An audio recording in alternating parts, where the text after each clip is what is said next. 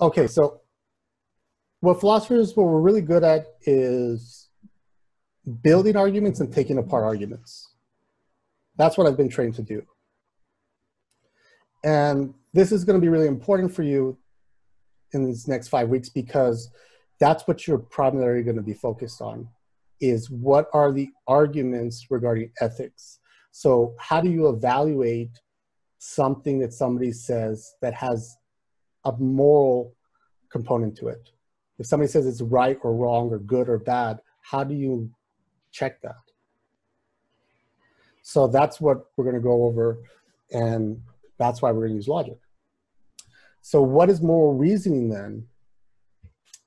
And this is, I'm taking this from Vaughn in the PDF, he's saying that moral reasoning is critical reasoning applied to moral arguments, which is another way of what I just said, where I'm going to analyze exactly this argument regarding whether something is good or bad or right or wrong. And what am I analyzing? The arguments and the statements that make that argument that construct or constitute that argument. So statements and arguments are really important. That's what you're going to be examining, but they're not the same thing. Make sure you understand the difference between statements and arguments. And this is why I take the time too to go through this because um, we're going to be talking about ethical issues, right? There's a lot of ethical issues going on right now. Uh, people get very heated about it. But what I want from this course is actually real reasoned arguments and clear logical uh, support for something. This is not about a shouting fest and a bunch of opinions. You'll find out quickly that this class is not about opinions. Um, I tell my classes, my face-to-face -face classes, I'm not trying to be mean. I just don't give a shit about your opinions. Why? Because opinions don't prove anything. What I'm interested in is facts, not opinions. I can't grade opinions. I can't give you an A for an opinion, but I can give you a grade to see how well your facts build up to your argument, right? So that's what I'm looking for. So in order to do that, we're gonna need logic. So logic is a normative endeavor. What that means is that it's an based on an ideal standard. This is, I think, a lot of the confusion that people have is that when I talk about reasoning through an argument or constructing a good logical argument, why it's not just a bunch of opinions is that it has to be, it has to meet some sort of standard. It has to measure up to what is a good argument. And so for to do that, you have to think logically. Now this is this is where people get confused. Logic is about how you ought to think, right? It's normative, how you should think. Logic is not about how you think in your everyday life. Those are two different things. So I have, a, I have a, another degree in psychology as well. Psychology is about describing how people think, right? In general. Then is about how you should think, not how you actually think. Because it's pretty clear from our president and a lot of other stuff, people are not thinking very well. So how do I know that they're not thinking very well? There has to be some ideal standard of what is correct way of thinking logic is about. So there's two types of logic in JIT. It's not comprehensive because of course it's five weeks. We don't have time to cover. That's for my next semester. If you're interested, and I highly recommend it, take logic. But in general, you can break logic into two sections. Formal logic, which is what we're gonna be going over, and informal logic, which we'll, we'll end off with. Now, formal logic is based on a formal language. That is different than a natural language. So a natural language is like English or Spanish.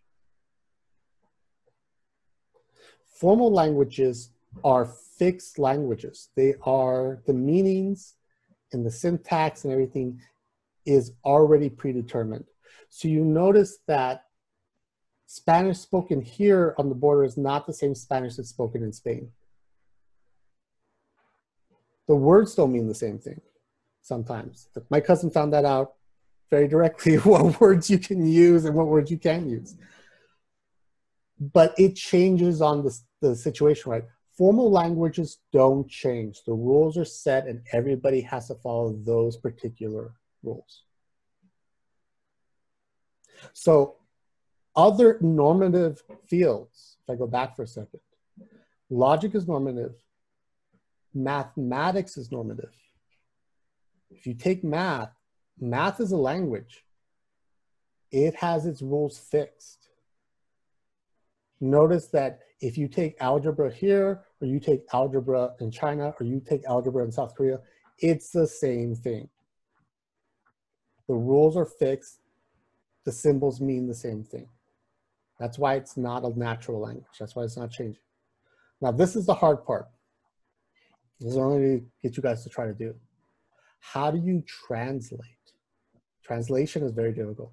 How do you translate a natural language, something written in English or Spanish, into a formal language like mathematics and logic?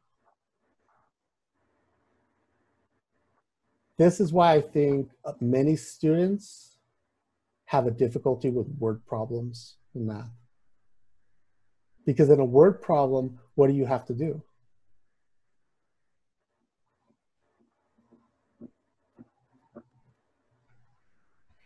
Why are word problems, why do people find word problems difficult?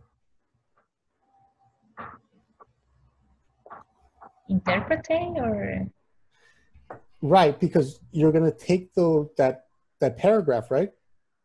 written in English or Spanish or something, right? And you're going to turn it into a mathematical problem, right? Mm-hmm. But you see how where it gets confusing for people. Yeah, very confused.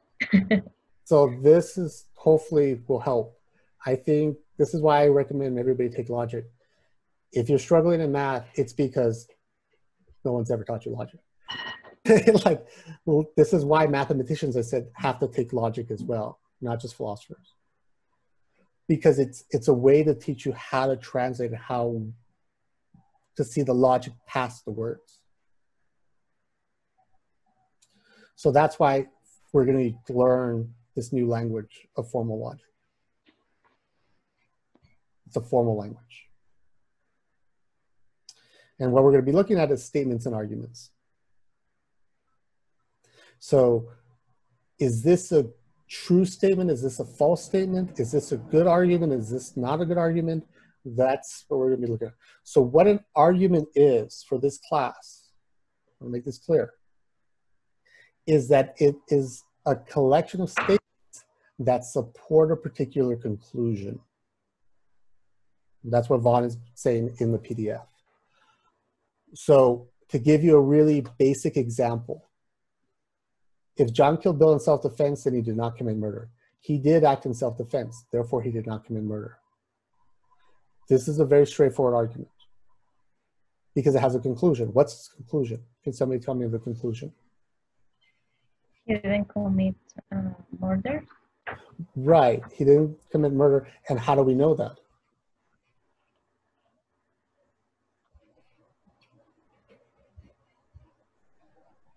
How do we know if that's true or not? because the premises conclude that part or because the therefore? The, the premises supported, the right? Premises, uh-huh. So it says if he killed them in self-defense, then that doesn't count as murder, right? Yep. He did, in fact, act in self-defense, so therefore we're sure that it's not murder. This is basically, if you notice, an episode of Law and Order. Like this is why lawyers have to take logic with us because court cases are actually very easy for the most part. What's difficult is finding the evidence. But the case and the logic behind it is usually simple. Did he not commit, did he commit murder or not? Was it self-defense or not? But able to prove that, that's where it gets. And that's exactly why we're talking about ethical issues right now, right, in the news and what's going on around us. How do you prove whether it is justified or not? So that's what I mean by an argument. You have a conclusion and you're backing it up with some factual evidence.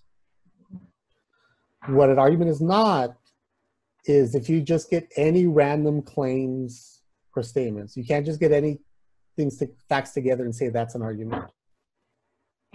It has to lead to the like, how does it support the conclusion? If I just add something extra to it, right? Well, the woman across the street had a red t-shirt on. That has nothing to do with, it might be true, but it has nothing to do with whether they commit murder or not, right? Not relevant to the issue. This is why I said opinions are not arguments. And this is why I have to stress. If you say, well, I think he's innocent, that's great for you, but that doesn't prove that he's innocent, right? So that's the difference. I'm looking for proof, I'm not looking for opinions. And when people get heated, and this is why I teach logic, when I teach ethics, it's not necessarily an argument people can yell at each other. I mean, if you've ever been in a relationship, you know what I'm talking about.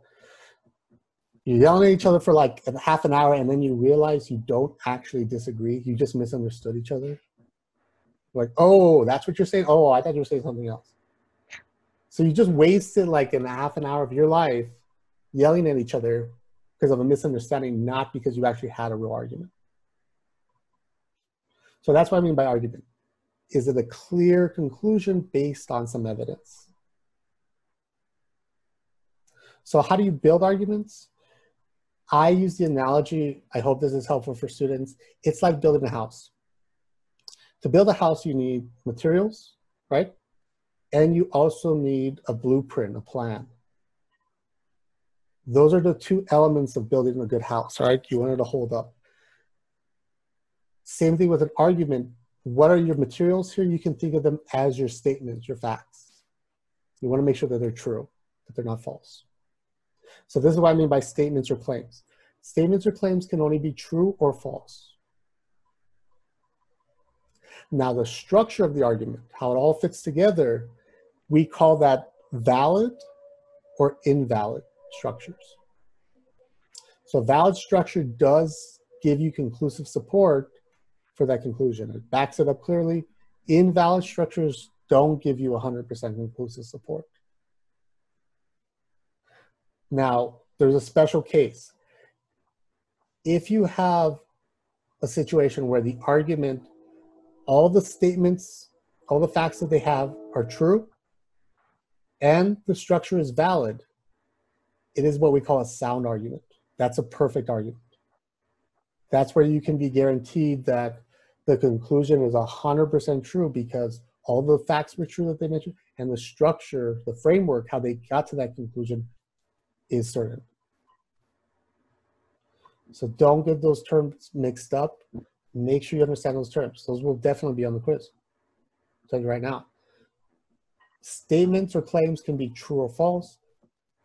Structures can be valid. If you say that, oh, that argument is valid, I'm sorry, that statement is valid. That's incorrect. People do say that, but it's incorrect. The statement cannot be, the structure can be valid, but the statement is either true or false. Now, sound arguments, both conditions have to be met. Everything has to be true, and the structure has to be valid to get you a sound argument. a Perfect argument. And it's 100% perfect. No one can disprove a sound argument. If it's a true sound argument, not even God can disprove a sound argument. And that was already worked out by medieval philosophers. Because all the medieval philosophers in Europe, guess what? Were priests and monks. So they've already thought it out. Can God disprove a perfect argument? No, because it's perfect. You can't disprove perfection. Now, this is where we get, this is where we start building up into why I'm saying it's a very formal language like mathematics, okay? So I said statements or claims are true or false. Those are facts. Now, things that are not true or false, questions cannot be true or false because you're asking something, right? You don't know it.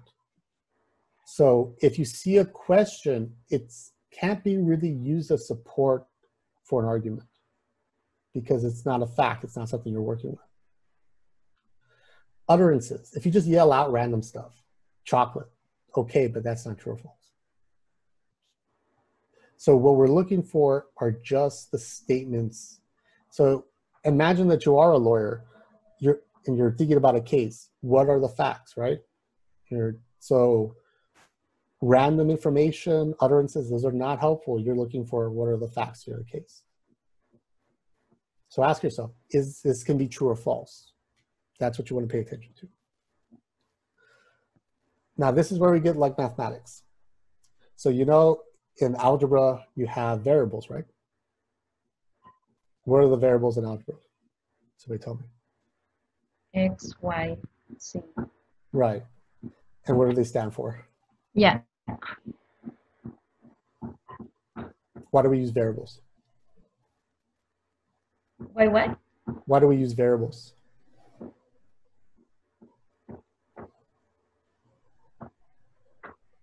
To substitute a number or when we don't know the number? Right. And you're substituting a value, right? Uh-huh. Numeric value. The same thing is going on here in formal logic, except instead of a numerical value, you're substituting true or false, a truth value. So if, and this is how we work with formal logic. Instead of X, Y, and Z, we start in the alphabet P, Q, and R, and we go down. So the first variable that we would use is P. So if I say P, you're an EPC student, what's the truth value to that? What's P's truth value? Is it true or false? True. I hope so, unless you guys are just like hanging out on Zoom. You're not in this. yes, it's true, right? Now, Mhm. you're a Facebook member. That might be different, right? Right. So the value, the truth value depends on the statement. So just like in math, X is not the same thing as Y. They're two different numbers, right? Right. Two different values. Or they could have the same value, but it depends on the situation, right? Same thing here. When you see these values, these variables, they can have different values, depends on what it's representing. So I'll show you what I mean when we get to the operators. So when you have a math problem, very simple math problem. If you have two, and you also have another two, what would be the solution? But but you are adding or you are what are you doing? Exactly. That's what is what are those things called where we add, subtract, multiply, or divide? What are they called? They have a name.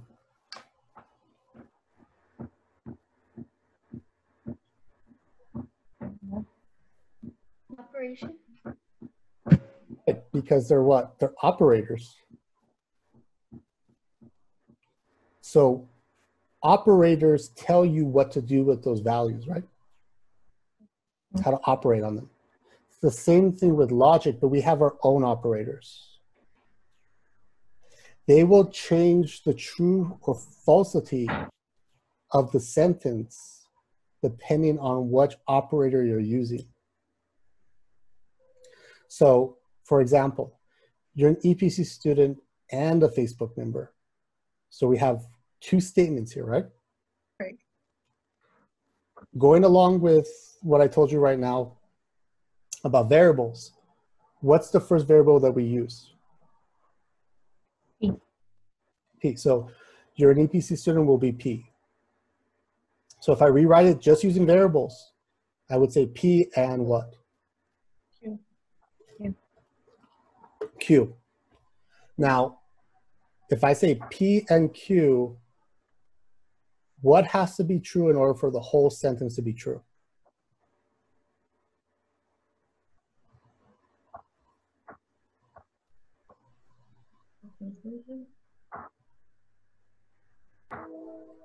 Think about it. What is the and? The, the and is your operator, right? So let's say it's true that you're a student but it's false that you're a member of Blackboard. What would the sentence be? True or false?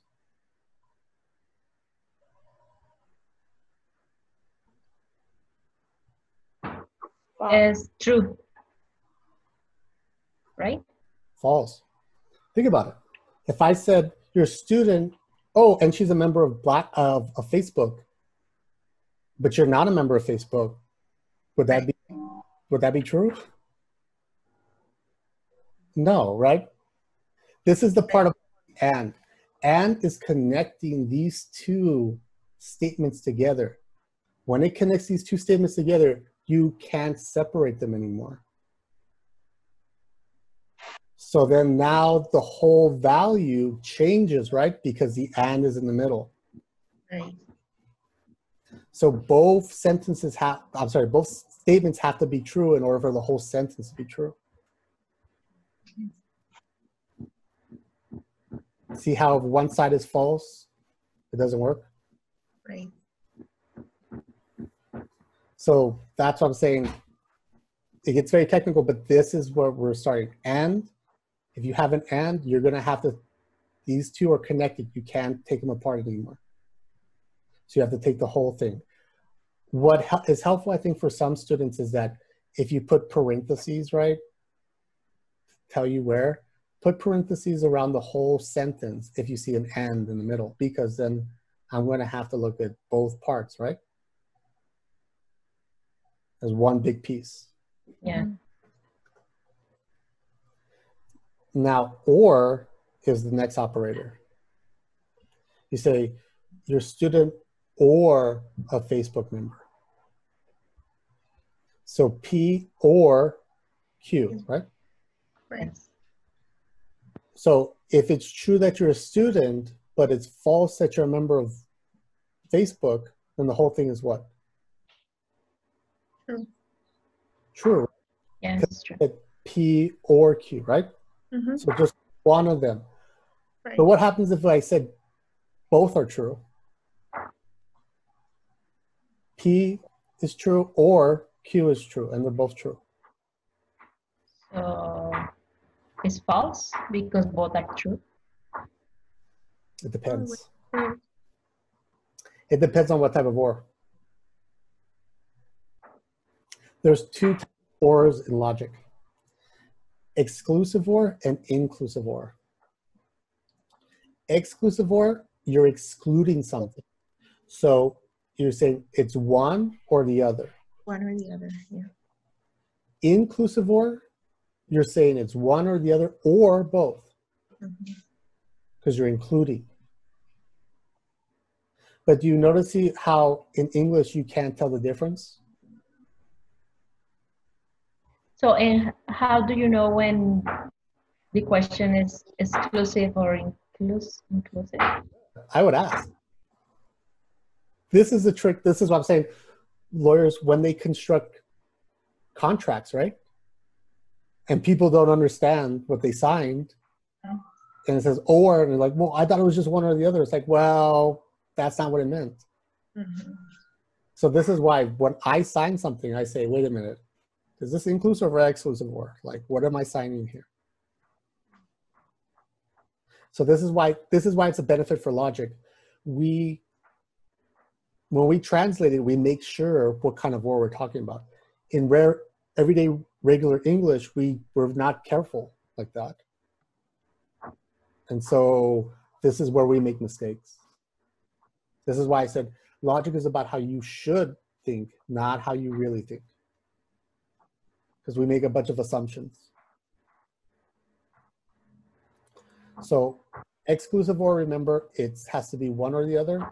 Inclusive or, it's one or the other or both. And as a tip, in math class, it's usually inclusive or. So if you're working a word problem in math, they mean one or the other or both. You see how they don't tell you that in math class? But it's really helpful if you understand what they mean? So when you're answering the question and it has an or, it could be three options. P Mhm. or Q or P and Q.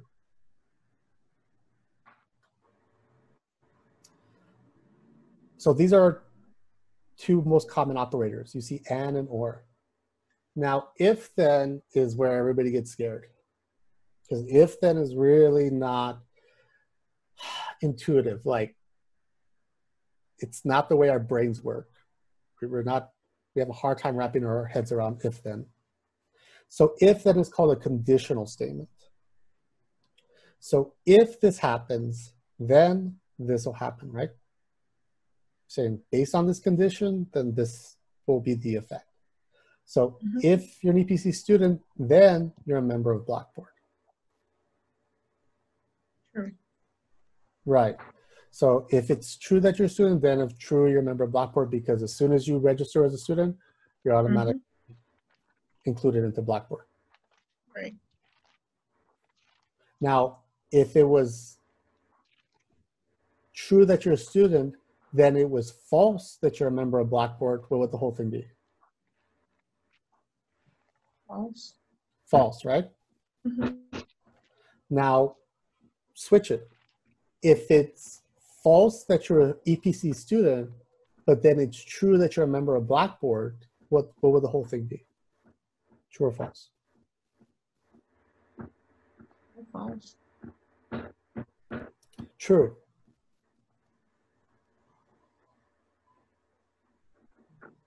Think about- Think about it for a second. If is it possible that you're not a student in EPCC, but then you are a member of Blackboard? Is that possible? No. If you're a student at UTEP, what will you use? What do you use at UTEP? I It's think not Blackboard. right? It's Blackboard? Oh. Hmm. So Okay. possible, right? Right. You see how this is what I'm saying. This is why it's not, don't trust your intuition. Don't go with what you think. This is why logic is like mathematics. You're going to have to think about this for a second. So, I mean, it's also true, right? If you're a student, then you're a member of Blackboard. It could be me as well, right? I'm a member of Right. Blackboard. Right. sure not a student. So think about the best way I can kind of try to summarize this is like cause and effect. It's saying if you have this cause, then you're going to have this effect. But that's not the only cause that can make this effect, right? There could be other causes. Other things can make you a Blackboard member, not just being a student at EPCC. Right. So they're connected. The if and then, when you see if and then, they're connected that way. That's why it's not really easy right away to determine whether the whole thing is true or false. Now, if they're both false, what would it be? You're not a student the UCC, then you're not a member of Blackboard. What would the whole sentence be?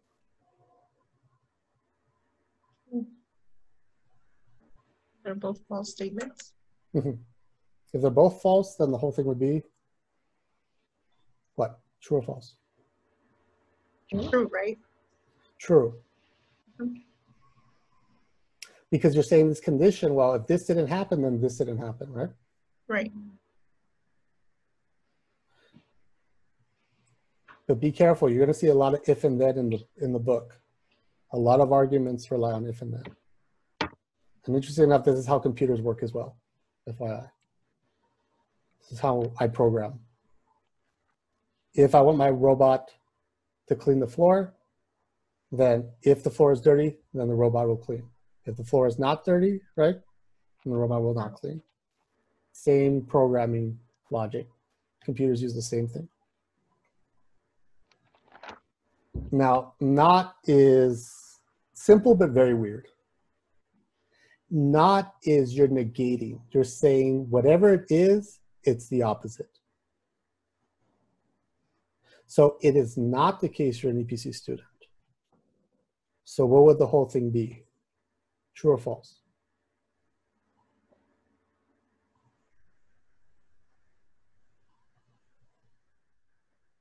What would be the sentence? Would it be true or would it be a, would it be a true sentence or a false sentence? I want to say true. That you're not a student? It is not the case that you are. Oh, no. I am a student, so it would be false. It would be false. So what, this is the important part of the not. Whatever comes after the not, it will flip the sign. It will change it to its opposite. So it's true that you're a student, right? Right. Say not true, what's another way of saying not true? False. Right. So the whole thing is false, right? So you can do this in logic, but you can't do this in English. If I said, I'm not not a liar, what does that mean? False. I'm not not a liar. I have two nots. Not. So if I had liar and I said not a liar, that would be what? Just one not, Yeah, one not. so false. Uh, but if I have another not in front of it, True. it flips it again. See, it's a double negative. If I imagine you're fighting your partner and they're like, "Oh, I did not not lie." What? if they say I did not not lie, meant they what? They lied. Yeah. It's true that they lied. See how this helps you in regular life?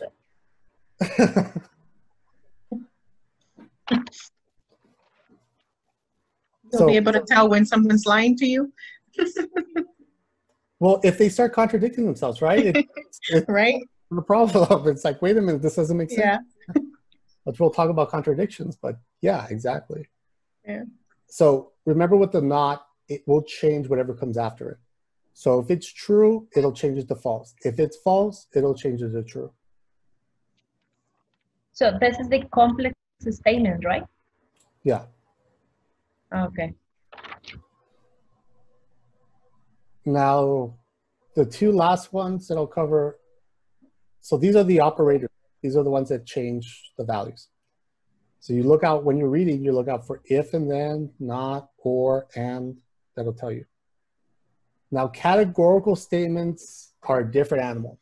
So I mentioned that um, that you can do that computers can do this stuff like if and then, right?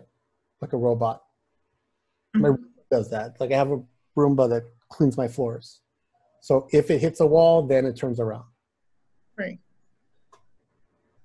And it uses as well. Electronics use and. If you turn this, if you put this switch on and this switch on, then the whole thing turns on or something, right? Categorical statements, computers cannot quite do yet. Because categorical statements are much bigger statements. They're about categories. So when I say all EPC students are Facebook members,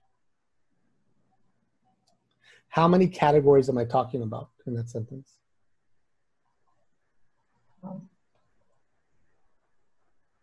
Too much, I guess. I have two categories. What two categories am I talking about? What two groups am I talking about? EPCC, EPCC students and Facebook members. Right. And when I say one category are Facebook members, part of the second category, right? Mhm. Then that means that all the students, everybody in that category, has to be a member of Facebook, right? For the sentence to be true. Right. But this is where the computers have problems. They can't really have a way to check all all the time. Like this is where computers have problems. But do you understand when you see the all, it's plural now because I'm not talking about one student anymore. Now I'm talking about all the students, right? The group of students and Mhm. the Facebook members. Right. Now, if I say some students are Facebook members, True. But how many? What would be the lowest number of students that would have to be Facebook members for the whole thing to be true? What's the least amount?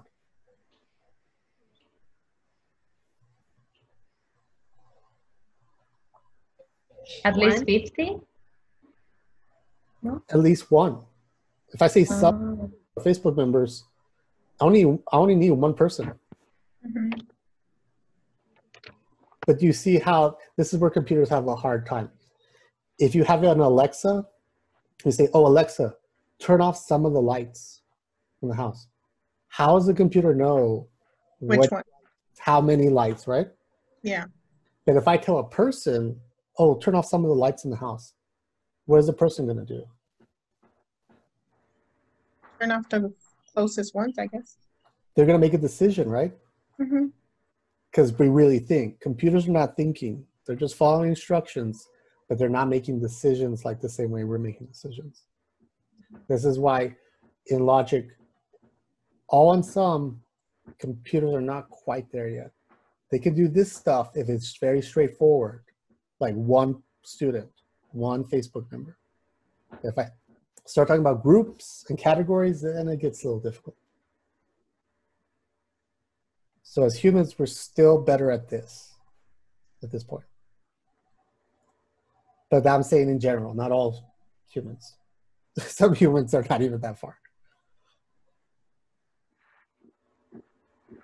So those are the operators. There are many more operators, and I gave you guys a link to a Wikipedia, which in this case I think is actually good. Gives you like all the different kinds of operators. You don't have to worry about every single operator out there. These are the main ones that you'll see in the book. These are the ones you should concentrate on. Now, see if you guys are going to pay attention. What's the argument here? It says the number of abortions performed in this state is increasing, and more and more women say that they favor greater access to abortion. What an outrage. What's the argument here? More and more women say that they favor greater access to abortion. No, they're stating they're stating that, but they're not arguing for that. What are they arguing for? The The number, number of abortions.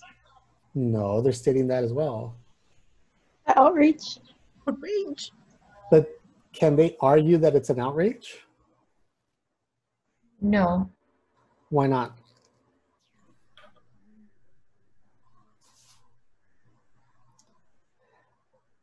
Think of that sentence. What an outrage. Could that be true or false? No. No. No, it's an opinion, right? Mhm. So if it's an opinion, do they have a conclusion? No. No. So do they have an argument?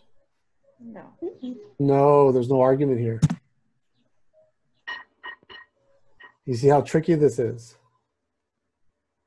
This is what politicians do. They put out some facts, right? Maybe it's true, it's increasing. Maybe it's true, women favor greater access. They say, oh, what an outrage. I'm like, well, okay, but that doesn't prove anything. That's just your opinion. Right. See, there's no support for anything. There's they're not proving anything. How I can change this into an argument, and it's like I need a conclusion that has a clear true or false, something that they can back up. So if they say, therefore, in this state, the trend among women is greater towards, that's something I can check. That's what surveys are about, right? Yeah. They give you a percentage about how many, but if they say, oh, well, I just don't like them, well, okay, but that doesn't prove anything. So that's what I'm saying. Look for the conclusion. Look for the proof. If there's no conclusion, they don't have anything then. They don't have an argument. As my friend pointed out to somebody one time. She was like, Well, what's your conclusion? He's like, Oh, I have a conclusion. It was like, Well, I guess we're done. Because I don't know where this is going. Like it's it's like you have some opinions, okay, but it doesn't prove anything. So that's what I'm saying. In this class, I'm looking for proof. How do you prove it? Not what you think about it. Now, statements and premises. I think there was a good explanation in, in the PDF about this. Premises are particular types of statements. They're this type of statements that are supporting the conclusion. So that's why I say they're the relevant facts. Not every fact out there is relevant to the case. So if you're looking for the premises, you're looking for, well, what's the relevant facts? So what are the premises in the argument here? If John killed Bill in self-defense, notice what I what we've been talking about right now. If and then, right? Mhm. An operator. So that means that these two statements have to be together, right? Right. And notice too, is there another operator in that first sentence? Then, There's if and then, but then then there's something else. Not? Not. not. So it's negating whatever, right? It's not murder. Mhm. So I would translate this as if P, if it's self-defense, right? Mhm. Then not what? Using the variable. If P, then not. Q. Right? Because we're going in the alphabet. Right. So it's not Q. So not murder. See how it changed? That that's why not is important because it'll change it from murder Right. to murder. So this first sentence is a, the first premise. The next statement, he did act in self-defense. That is the second premise, right? And then we have our conclusion. So we only have two premises in this argument the first sentence and the second statement. So how do you know when it's a conclusion? There are some clues. Sometimes it will say therefore, so, thus. Those are clues that whatever comes after is a conclusion. If you see because, for, since then, those are clues that it's the premise. But they don't always have to be there you can have a conclusion without therefore. That these are just clues to help you. So I know it's going really long because I think it's already been an hour and 30, right? And there's a lot to cover. So what I can do, and I think this will work out best, is I'll continue here tomorrow. Okay. Yeah, that's fine. Okay? All right. So in the meantime, once you guys look over what we covered, make sure you understand statements and premises, what an argument should look like. Remember, it should have a conclusion. You don't have a conclusion, you have no argument. Right. What are the operators? Does it have an and in there? Does it have an or, if, then, not, all, some? Keep those in mind because it'll change whether it's true or false.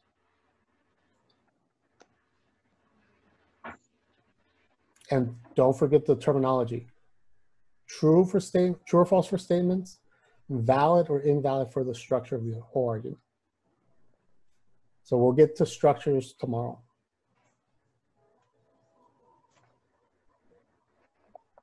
So like this argument example here, these statements are true or false, but the whole thing together, I'll show you how to tell whether it's a valid structure or invalid structure. So does it give you 100% or not for that conclusion? But look over ahead of time. That's what I'm saying. The videos that I put. Yes. Yes. Okay, so we talked about that we're going to use critical reasoning or critical thinking in order to evaluate moral arguments. That's what this class is about. And we're going to use formal logic. And I said formal logic is normative. Don't forget this word normative. It is means that it's based on an ideal standard of the way things ought to be. So logic, remember I said, is not about how what how people think. It's how they should think, how they should reason, not how they actually reason. Uh, the same thing with I would also say with um, ethics as well. So this course is about ethics. Ethics, you'll find out, is about what we should do, not what we actually do, right? Right. So both are very normative fields. I said mathematics as well. These are how things should be. There's very particular set rules about what it should be like. So I think this is a confusion uh, that a lot of students have when we start this course is that the other classes usually take, let's say like history or science, they're describing what's going on in the world. But that's not what we're doing here. We're saying this is how the world should be, how people should act, not how they're acting right now. So, I mean, that's really relevant right now with what things are going on in the news, right? Mhm. It's not how we're not describing that's what sociology and psychology does they describe what people are doing in the world in society but what we're talking about is well how we should conduct society how we should do things what's the right way to do things so that's what i'm saying with logic we're trying to say well how should people make a point or draw a conclusion right and this is why i said last time is going to be the tough part. We're going to use a formal language to do that with particular rules and structure, but you're going to have to translate. You have to learn to translate from a natural language, like English or Spanish, into a formal language with rules and structure. Which I said also last time, that's, I think, a hard thing for people to do, like with word problems, right? How do you take something that a paragraph written in English and turn it into a formula to solve a problem, right? So we're essentially doing something like that. We're learning to solve ethical problems, but we're going to have to translate the problem first to see how to figure out how to work it. Questions yet? So you can stop me at time let me know if you need a clarification or you don't quite understand something. Okay.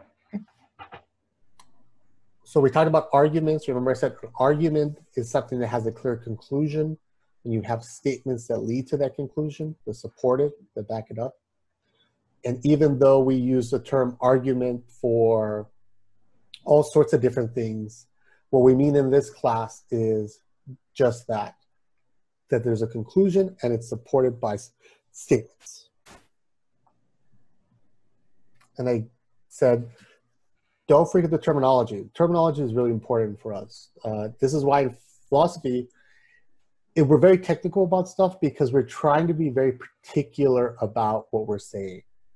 So I think this is especially a good example, like what's going on in the news right now, is that this is why maybe also I should stay away from the comment section on the internet um, because people are not really evaluating or thinking about what they're saying. They're just expressing how they feel about something, but they're not really thinking about well, what is what do they mean when they say this or that, right? Right. And Or right, so that this is why for philosophy we try to be very technical and precise about what we're saying, so we'll, we mean what we say. So when I say a statement when I'm talking about a statement and I'm trying to evaluate a statement, say, well, is this a good statement or not? What I mean by that is that is this statement true or false? No. And then when I'm talking about the structure of an argument, this is a good argument structure or not? I'm going to say if it's valid or invalid. So if it's a valid structure, then you're getting some guarantee about the solution. If it's an invalid structure, and you'll see today, you're not guaranteed about the solution.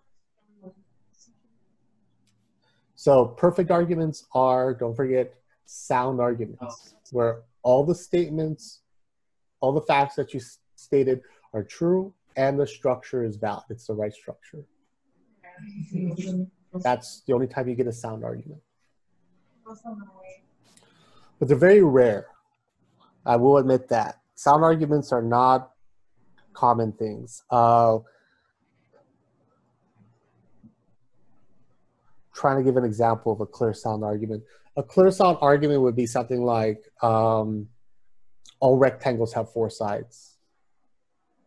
This particular rectangle is four-sided, therefore, right? So you see how, is there any situation where you can find a rectangle that doesn't have four sides?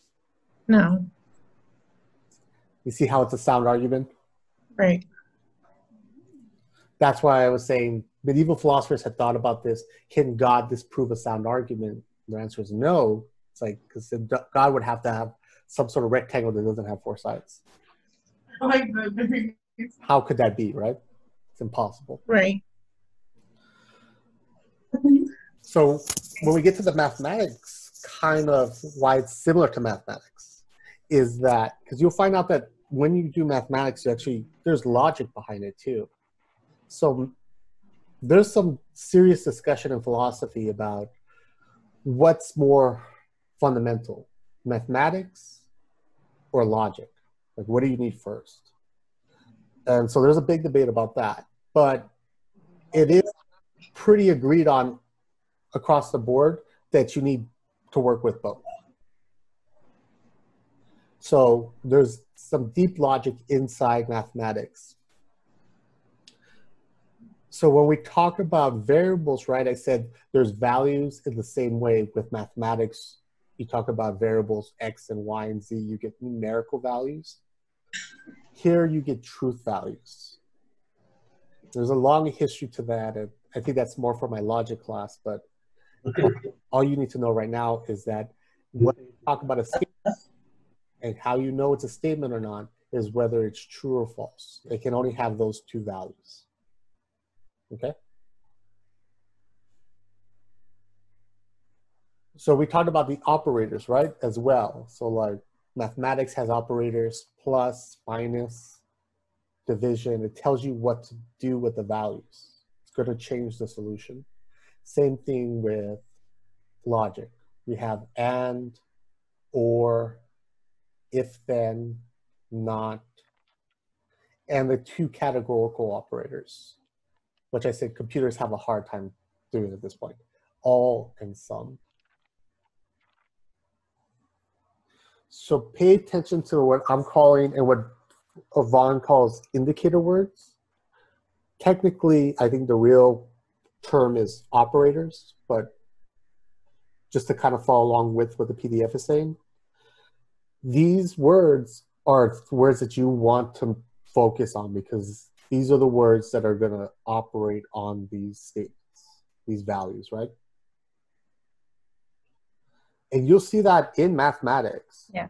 Definitely. You'll see if and then, or, and, all, some, all those terms, all those operators are used.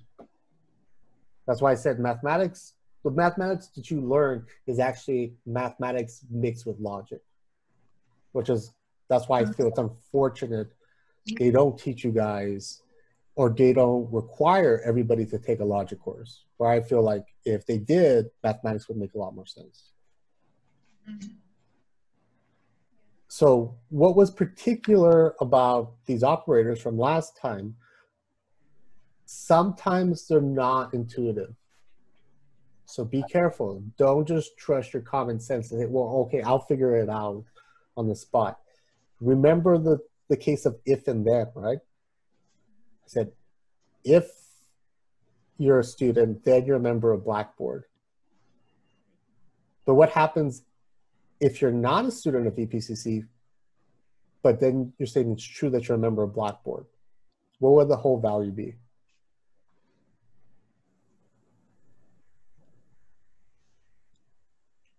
That'd be false. False. True. The answer is true because Oh.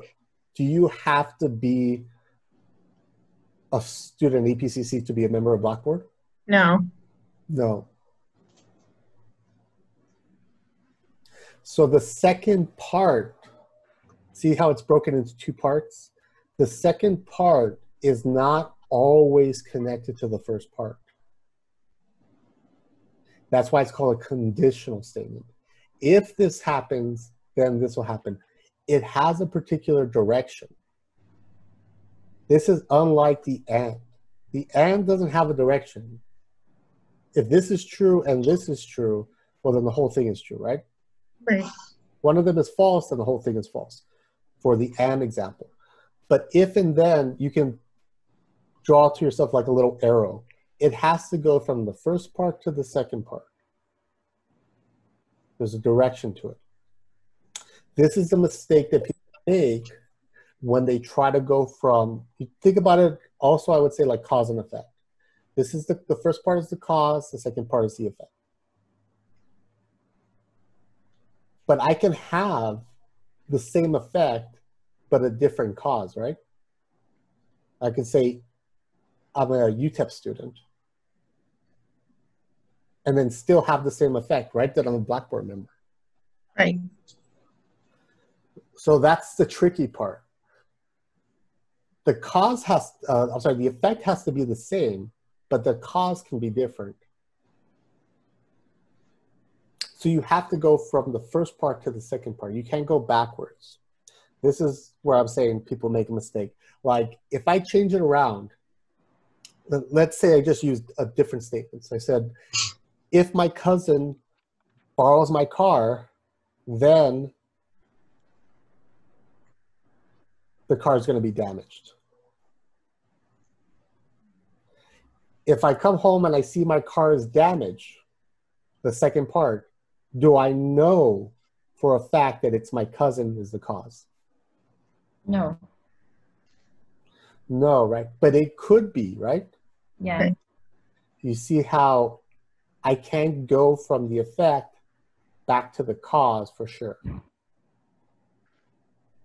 But I can go from the cause to the effect.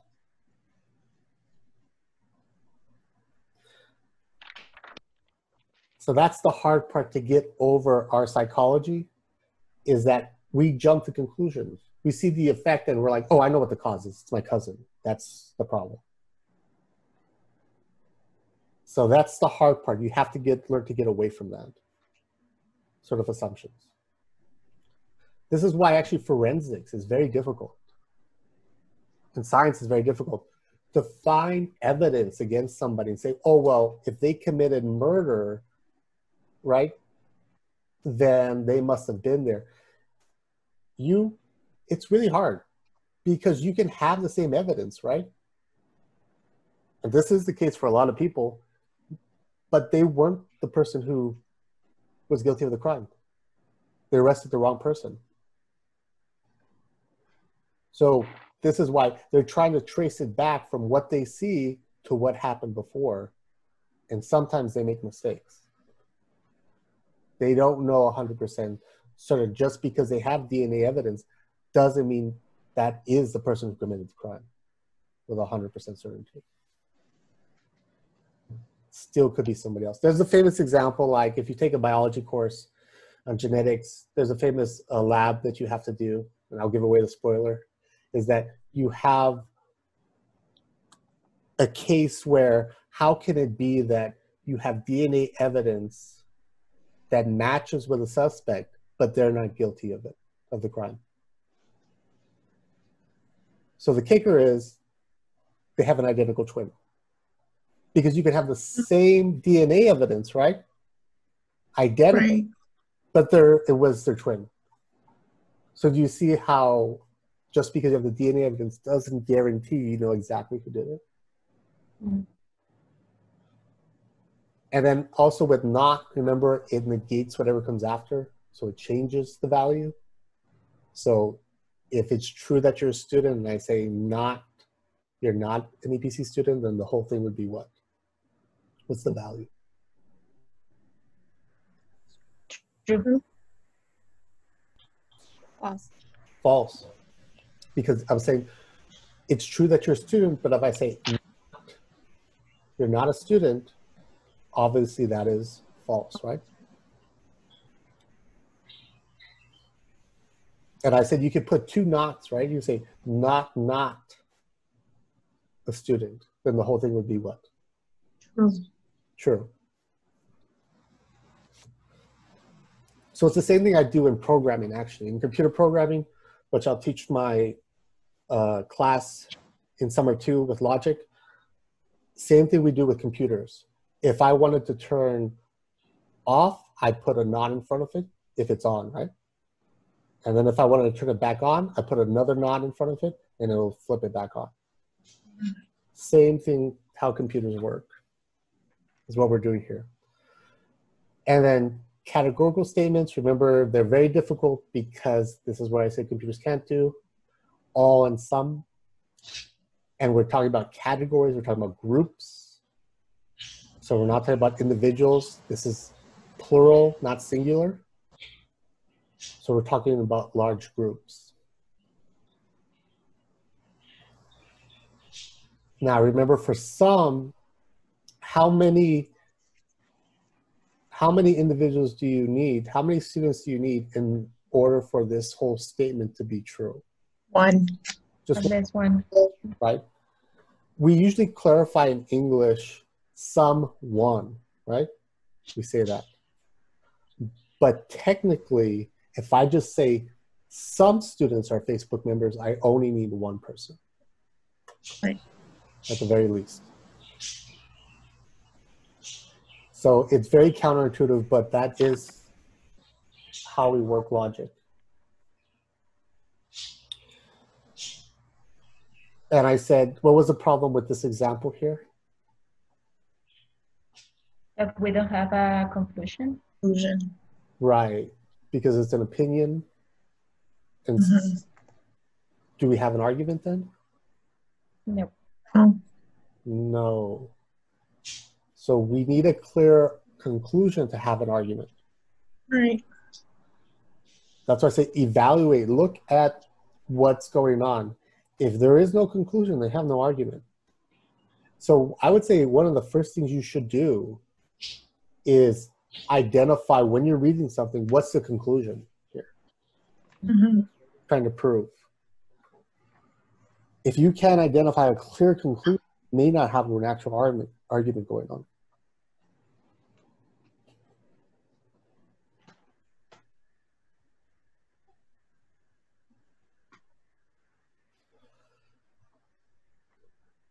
And the premises, remember, are particular type of statements. They're the relevant statements. They're the supporting statements. You can think about it like the, re- the relevant evidence. Because not any fact out there is always relevant. This happens a lot in, in court cases as well. Um, because both sides will try to argue which facts are relevant and which are not, right? So what they're really arguing about is what are the premises and what are just regular statements. So because the guy had a red shirt on, is that relevant to the case or not is what they're going to argue about. Is that a real premise to the argument or not? If it's irrelevant, maybe it's true he had a red shirt on, but it has nothing to do with the case, then saying it's not a premise.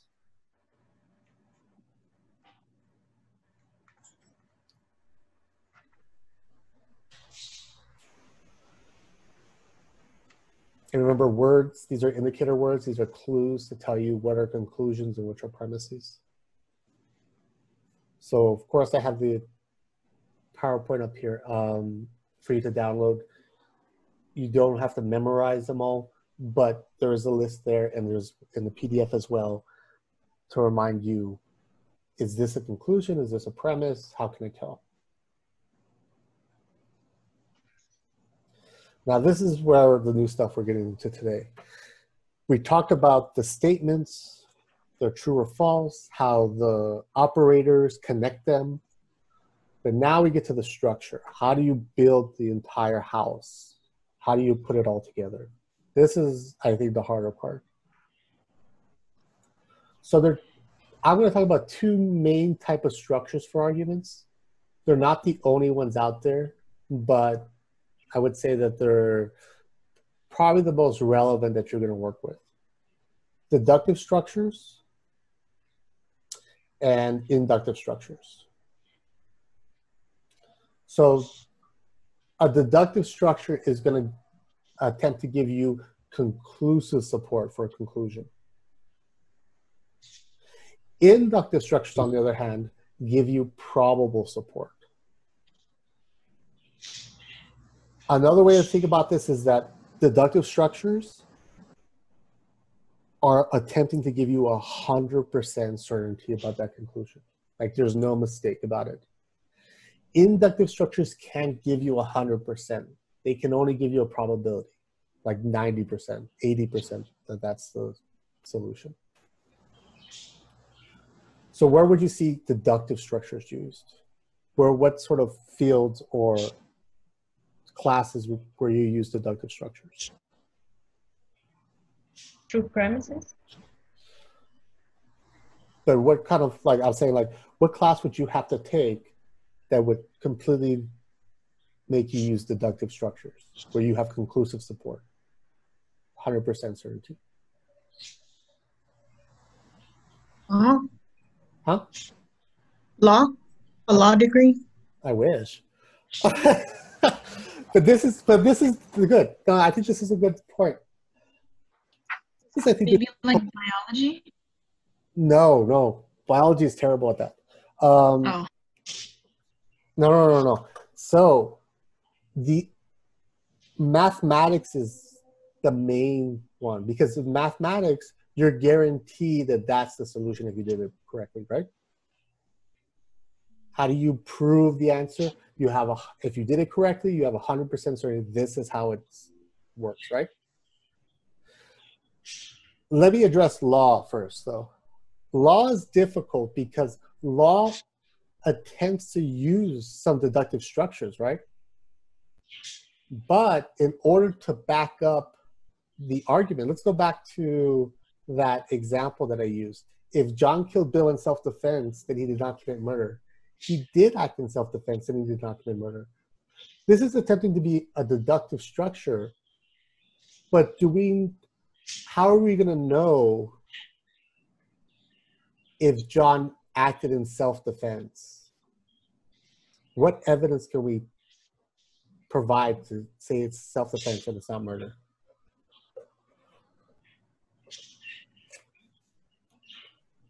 Like imagine a real court case. What would they try to show? What kind of evidence would they try to bring to the case? Maybe a weapon on the other person's. Good. But then now we have to remember what I said. Do we know just because somebody owned that weapon that it was the person, the owner, that was responsible for the death? Yeah. Right. See the problem? Maybe, Yes. um, maybe uh, someone to testify that see the, uh, Right. Which is also very sketchy. Mm-hmm. yeah, Eyewitness identification is terrible. Mm-hmm. plenty of psychology out there, like studies that will back this up. They're supportive of like, we swear it was the guy. I saw him, and they're not lying. They're very sincere. Like, I swear it was that guy. And then you see the videotape, and it's like totally somebody else different. Mhm. Like human beings are terrible at eyewitnesses. Like if you're ever in a situation where you have to go to court and they're gonna try to bring an eyewitness, I would tell your lawyer right away because they would know. Right, eyewitness identification is not a really good, reliable source of evidence. So that's the issue about law. And there's some really good philosophers that I admire that are working on this. Is that how do you prove that somebody's 100% guilty when your proof relies on stuff that's maybe true. Mm-hmm. This is why we're never certain 100% that the person who's arrested or convicted of a crime is the actual person who did the crime. This is why a lot of innocent people are in jail. So, deductive structures, not law. Biology, no. Actually, biology would be in the realm of inductive structures. This is why in biology, you can only give statistical percentages. You can never give certainty, and this is something that I that I emphasize here because uh, my area of study, my expertise is philosophy of science. Science can never prove anything to be 100% true. Science does not have that power. This is why you have to buy new science textbooks every couple of years. Because science is relying on theories and hypotheses. But you can never give 100% certainty for any theory or hypothesis.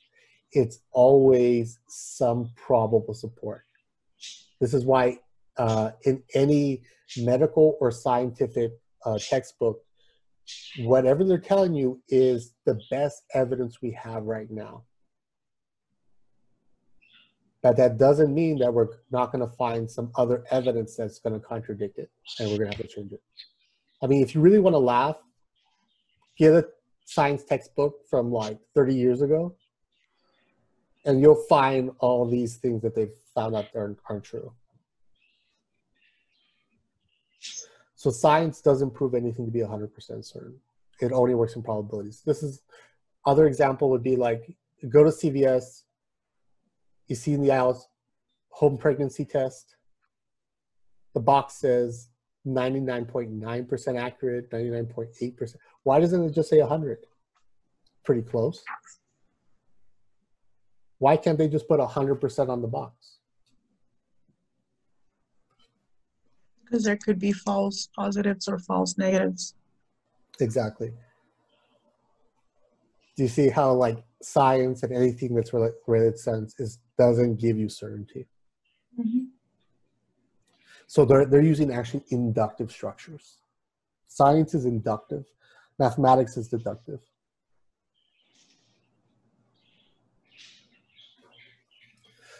But they're good structures, I would say. They're, they're both very useful though. Just because you don't get 100% doesn't mean, you know, especially right now, right?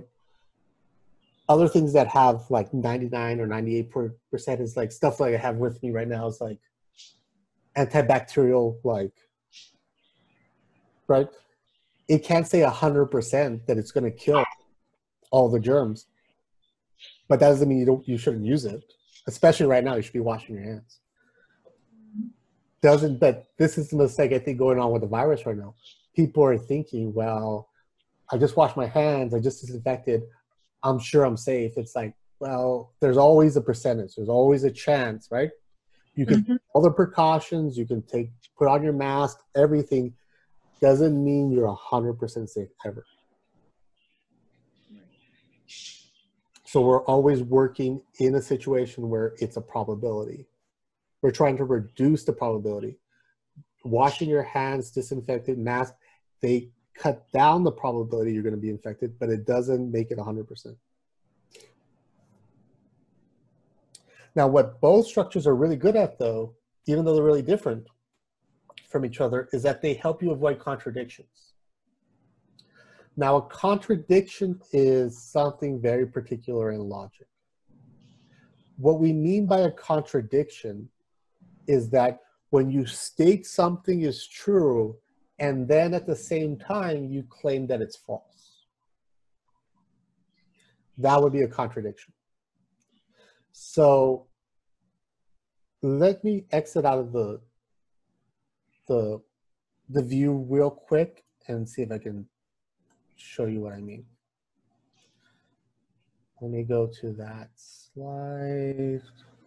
Where are we? There we go. So if I were to make a contradiction in a technical sense, I would say, remember the variables, right? P could stand for some statement, right? Mhm. Mhm. How would I contradict that statement? What's the opposite of P?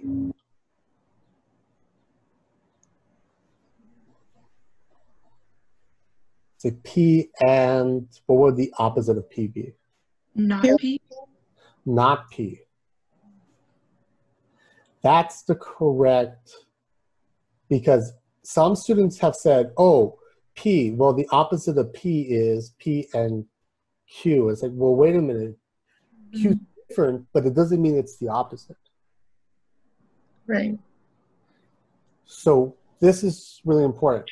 why we don't want contradictions like this, why you don't want to say P and not P, is because then you're going to say it's true, right? Let's say you're a student, right, is what we've been using as an example. So it's true that you're a student and what? Not P. What would not P be? Not a student. Not a student. Which is, what's another way of saying not a student? The sentence would be what? The statement would be what? What's the value? True or false? False. False. False. And I said, if it's true, it's false, then the whole thing is what? False. False. Because both sides have to be true, right? Right. Mhm. So then the whole thing is false. This is why you don't want contradictions in your arguments. Because essentially you're saying it's true and it's false at the same time. And how can that be? How can you be, a, it's true that you're a student and it's true that you're not a student, which is false. You see how it's always going to come out as false? Mhm. So no matter what you say, whatever goes in those variables, P, it's always going to come out false by default. Be careful because I've had students do this for me in class. They'll say that, oh, well, abortion is is wrong, and then later, and it's not wrong. In the same paragraph, I'm like, wait, what? Mm-hmm. wrong and then in the next sentence you say oh it's not wrong i'm like how does but people contradict themselves right? This is what i say be careful. Remember it's not about how we think it's how we should think. People contradict themselves very regularly. We say something and then the next minute we say the opposite. So it's not about how we think, it's how we should think. So let me go back to the view real quick. So don't forget that contradictions are always false. You never want a contradiction in your argument because essentially it's like you just shot yourself in the foot. Like you disproved yourself. And I've had students disprove themselves. It's not pretty.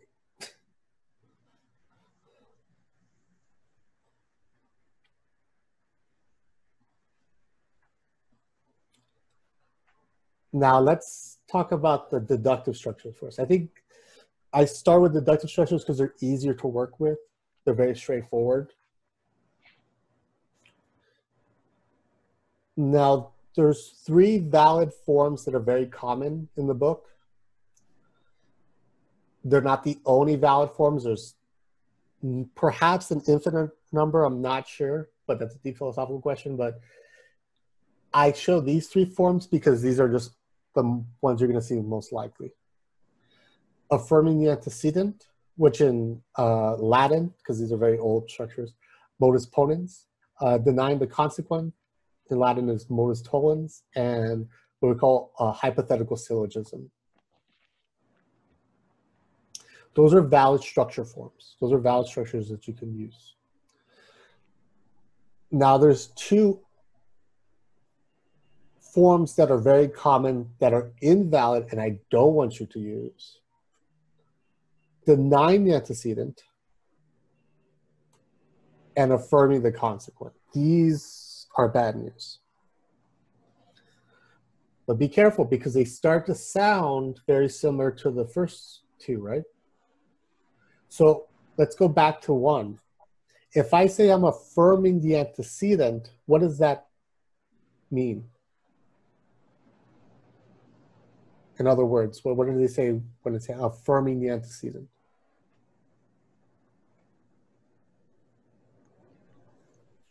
That P is true.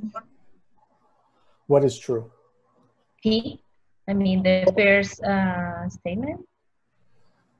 What statement? No, What's an antecedent? Let's start there. What's an antecedent?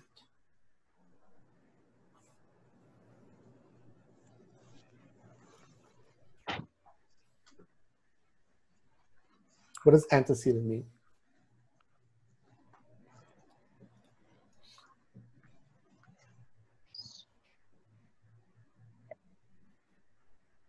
Doesn't it mean like uh the thing that was said before, like the first thing? Correct. So I'm affirming, I'm saying what was stated before is affirming is true, right? And if I'm denying the consequent, what am I saying?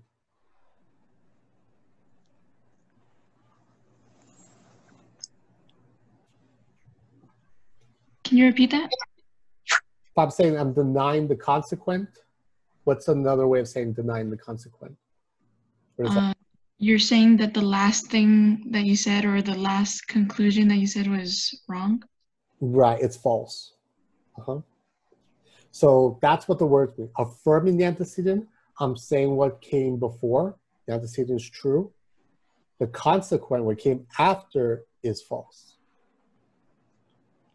So notice the two invalid forms. It says denying the antecedent.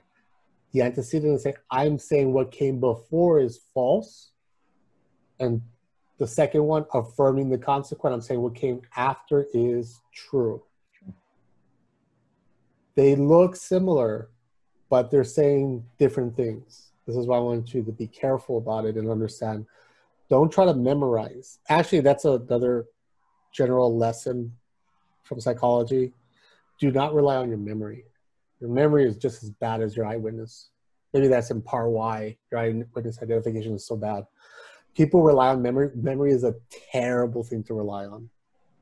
Do not rely on your memory. I highly suggest you understand what the words mean, what the terms mean. Don't try to memorize stuff. It's not going to be really that effective in the long run. And then hypothetical syllogism. Uh, syllogism. A syllogism is an argument that has three elements and there's a hypothetical part in it. Remember, hypothetical is an if then, so there's going to be an if then in there. So we'll go through ex examples of each one, you'll, you'll see what I mean. So the first one, modus ponens. The structure is this: if P then Q. The second premise says P, and that line right there just like in math, that tells you that's whatever comes after is the solution, right? So the way we read that is we'll just say some indicator word like therefore or so. So if P then Q, P is true, therefore Q is true. So the example that my old instructor would use all the time, he would say, well, okay, let's um, exchange let's put in place for P, it rained. And then for Q, the streets outside are wet. So I would read it as if it rained, P, then Q, the streets are wet. Does everybody follow along so far? Mhm. So then what would two say? Going with our example. It rained. It rained, and then therefore, what's the conclusion? Three. The streets are wet. the streets are wet. Do you see? Good. So do you see how if one is true, if two is true, three is what? True. It has to be true because of the structure. If it rained, then the streets are wet. It rained, therefore the streets are wet. If I know it's one is true and two is true, do I have to get up and go outside to see if three is true? No. Because the structure ensures that three must be true if one and two are true. Right. So these are the structures I was saying that you use in mathematics, but you guys don't realize it.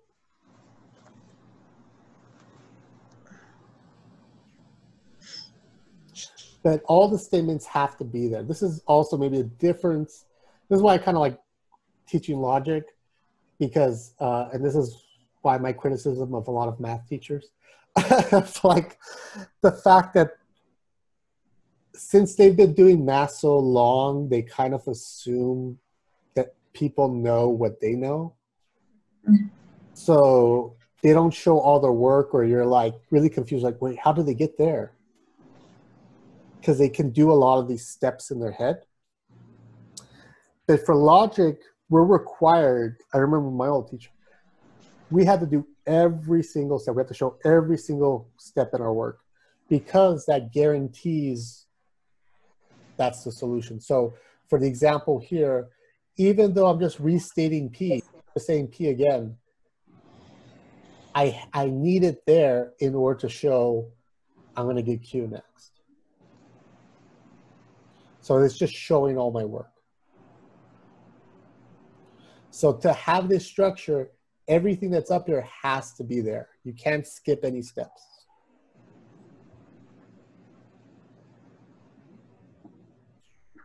Now the second structure, if P then Q, not Q, therefore not P. So let's go back to the rain example. If it rains and the streets are wet, and then what would two say? Using our rain example.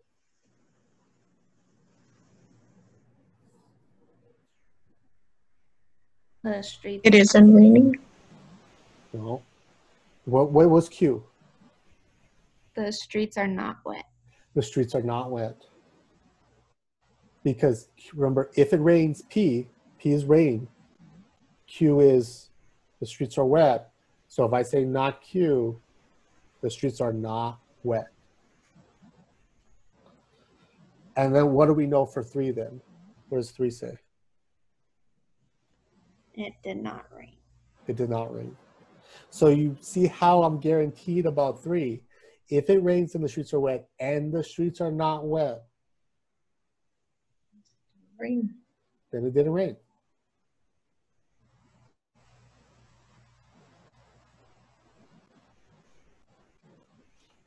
Now we're going to pick it up another step. Hypothetical syllogism.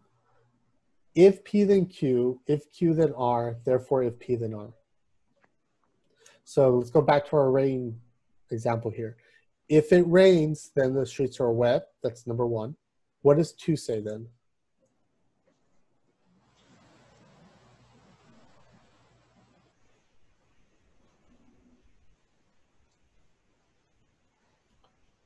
If the streets are wet, then and then a different variable. Right, it's a different variable, R. So we didn't establish what that variable is, right? What would make sense in this scenario? What would R be? What was the question? What would R be then? What would make sense in this scenario? So we didn't establish what statement R is. So what, what kind of statement can we put in R? Then the roads would be slick.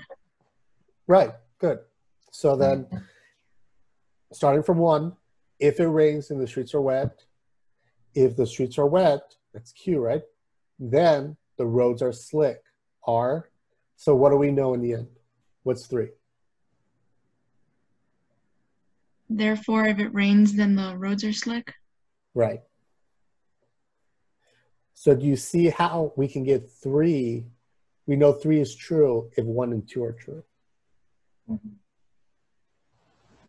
This is what I said about showing our work. How do I connect P to R? I have to show that P connects to Q and Q connects to R. And then this is what I was saying. Math mathematicians are kind of sometimes bad at teaching because they can do this in their head and they're all like, oh, P then R. And you're like, what? How do you get there? I didn't get these steps. But for logic, we have to show all our work. We have to show every single step exactly how we got to R. So when we're, arg- we're, we're developing arguments, and this is why I'm teaching you all this for ethics. In ethics, about right or wrong and who's guilty and who's not, you're going to have to show, well, wait a minute, how is it all connect? You can't just jump to the assumption, oh, well, obviously they're wrong. It's like, well, wait a minute, where's the proof? How did you get to that conclusion that they're wrong?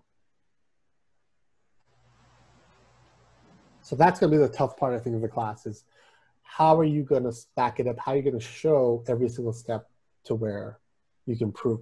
This is why a lot of the good philosophers you're going to read uh, throughout the semester, they're really good at this. They've really thought this out and they want to support, like, how did they get to that conclusion? They're going to show every single step of their work. Now, the two invalid forms, the ones I don't want you to do, these are the ones that are not going to give you 100% certainty about the conclusion. But they look really similar to the ones that we just saw. Affirming the consequent. So if P then Q, Q is true, therefore P is true. So if we're using the rain example, if it rained and the streets are wet, what does 2 say? The streets are wet. The streets are wet. And what are they trying to say in the in the conclusion then? What do they know? Therefore, is rain. Right. Is there a problem with that? Do they know that for sure? No. No. Because there could have been another explanation, right? Just because I mm-hmm. look outside and I see the streets are wet doesn't mean it did it was the rain, right? There could be another explanation. There's a fire hydrant leak. Somebody left the baguette on. I don't know. But it was something else, right? This is what remember you can't go to the cause from the effect. They're trying to go backwards. Oh, I saw the effect, so I know the cause. But they don't know that for certain. Questions? Any questions? No. Okay. Another silly example that I have here too is if I'm a human, then I'm a mammal. I'm a mammal. Well, therefore, I must be human. Mm. you see how that doesn't work either? No. So just because it's a mammal, do you know it's going to be a human? No. No. See how you can go from one to the other? Because the order matters. That's why I said the order matters. Um, the 90 antecedent is a version of this too. If P then is true, then Q is true. P is false. So you're denying the antecedent. You're saying whatever came before, well, that's not true. Therefore, what's going to come after the, the consequent, Q, is can't be true either. So if we read it with the rain example, if it's raining, then the streets are wet. It isn't raining, right? Not P. Therefore, the streets are going to be wet. But do we see the problem here again? Yeah. Something else can cause the streets to be wet, right? Not just the rain. Right. So I said same effect, but you could have different causes.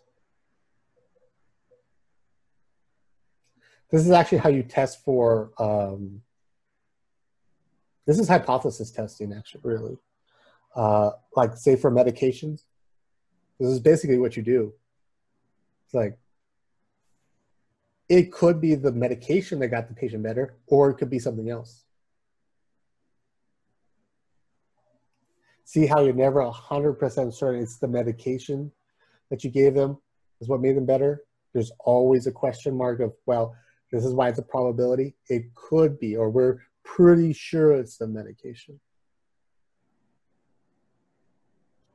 So that's why if anybody is in the nursing program here, this is what's going to make your life difficult is that you're never 100% certain.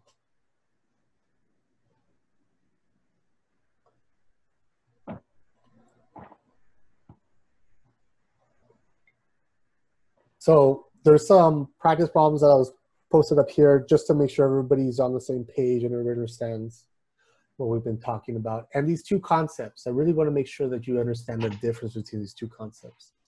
Validity and soundness. Remember, validity is about the structure, soundness is more complicated than that. So when we talk about the structure, can a valid argument have true premises and a false conclusion? What would the answer be? Yes or no? Can a valid No, have true premises and a false conclusion? No. no, Why? because both has to be true. No. No, No, no, no, no. Remember with the structure. If the premises are true, can I get a wrong answer? If it's a valid structure? Can I get a false conclusion? No. Remember that if it rains, then the streets are wet. It rained, therefore The streets are wet. it has to be three, right? Three has to be true. The last one has to be true because based on one and two. If it's a valid structure, it's this is the hard part I think for a lot of students. It's the structure that's doing the work here. It's not the statements themselves. It's the structure that it has that particular flow that's getting you to that particular answer. So can a valid argument have false premises and a true conclusion? Yes or no? I say no. Yes. Yes. How could that be? How can you have a valid argument, have false premises, but you get a true conclusion? Because your conclusion might be true, but the supporting evidence does, whatever, the premises is not supporting it. And though it's true. Right. So maybe they are guilty is your conclusion, but how you got there Mm-hmm. it doesn't really support that. You just happen to be right. Mm-hmm. So what I also want to emphasize, remember they're just variables. When I say if P then Q, they're just placeholders, they're just variables. Any statement can go in there. Doesn't mean that necessarily you know it's going to be true. But the structure is going to stay the same. So going back real quick, see the structure doesn't change. It's just what I put in the variables changes. See my examples on the bottom here? Mammals, humans, rain, streets. I didn't change the structure, I just changing the variables.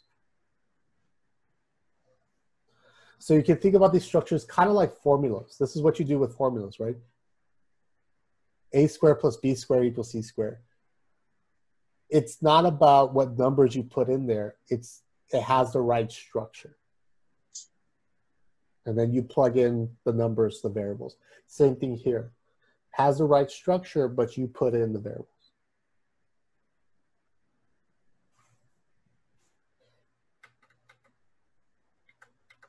Now, can a valid argument have false premises and a false conclusion? Can everything be false in a valid structure? Is it possible?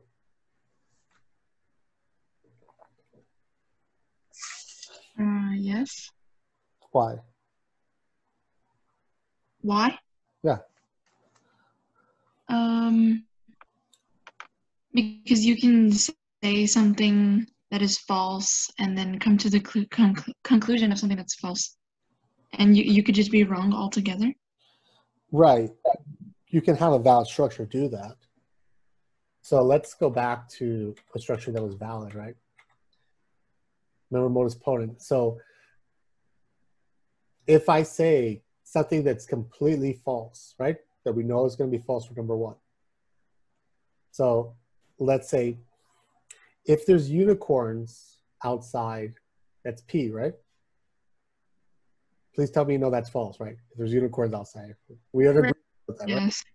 Yeah, that's false. unicorns outside, then they shit Skittles. so the whole thing is false, right? Right. okay. What would two say? So the structure is valid, but the argument is false. Right? Right. So if we use me my unicorn example, what would two say? What would P be? That there were unicorns outside? Yeah, exactly. So let's read it again from one. if there's unicorns outside, then we should Skittles. Two says there are unicorns outside. Therefore, what's the conclusion? What's Q? That they should Skittles. Skittles. Right. So did I mess with the structure in any way? No. No. But everything I said was false, right? Right. So it's still a valid structure, but all the statements are false. So it's valid, but it's not sound. Right. Good. Exactly. So you can have a valid structure, but it doesn't mean it's a sound argument.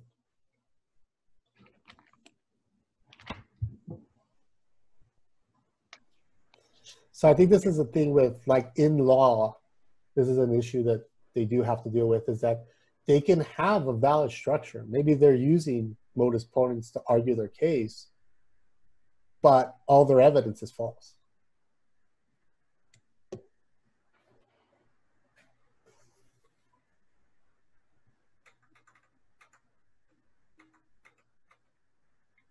So remember, validity is different from soundness. Because just because it's valid doesn't mean it's sound. So can an invalid argument have a true conclusion?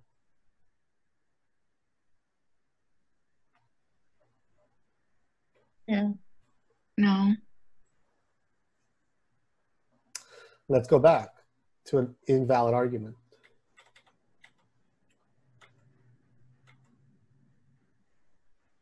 So both of these are examples of an invalid argument. Can the conclusion be true? Yes. Yes, because this is, notice what I say here, affirming the consequent. If it rains and the streets are wet, right? We said that. But remember, they're just variables. Right. I can exchange it for what would be something that's true? What would we know is true that we could put for P? Name any fact that's true. Um,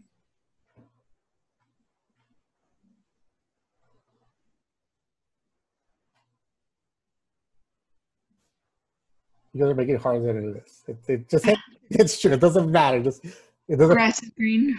Okay, grass is green. So if grass is green, then you're gonna get an A, which is false, right? right. Two says what? You're gonna get an A. Hopefully it's true, but you know, I'm just saying for this example, false. But does is three true then? With our example, No, grass is not green. grass is green. Grass is green. Do you see how the conclusion is true, even if it's an invalid structure?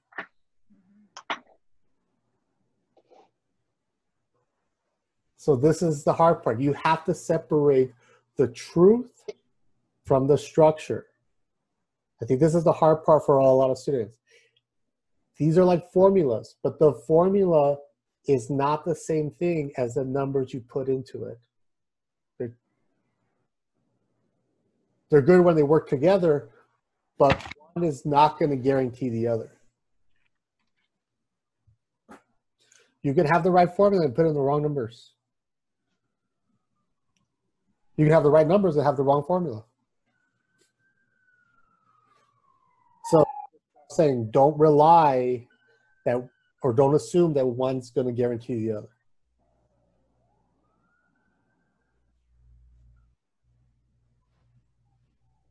So validity is about the structure and soundness is about the statements being true and the structure being valid. Remember, sound arguments, the perfect arguments, they have to have those two conditions. Validity just has to have the right structure, has to be the right formula, but it doesn't tell you those are the right uh, values that you're putting into the variables. So to tell you the truth, computers really can only do structures. Computers can't give you the truth. so computers, this is why they're good at following directions because you're giving them the structure. Follow, do this, do this, do this, but they can't tell you, oh, that's the right thing to do. Like computers don't have the ability to, to, to determine what is actually true and what's not. And contradictions are always what?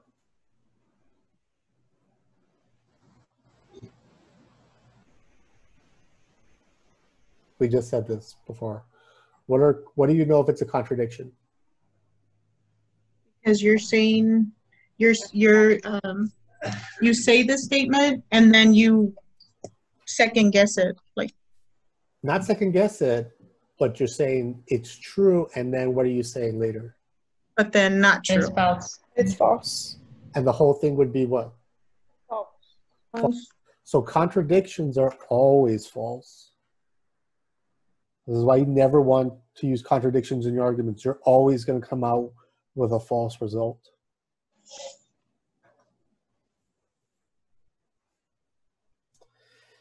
And is logic about how we actually reason? No. True? No. Because you'll see why in, in this class why that's usually false.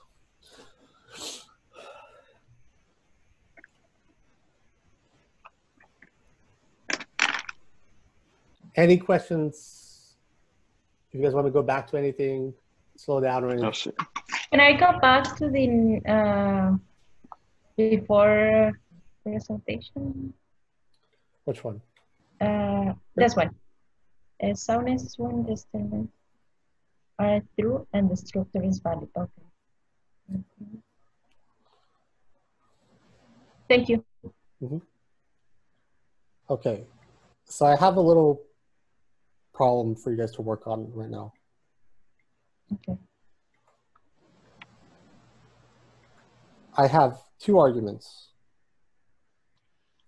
And what you're going to do is you're going to tell me which argument is valid and which argument is invalid.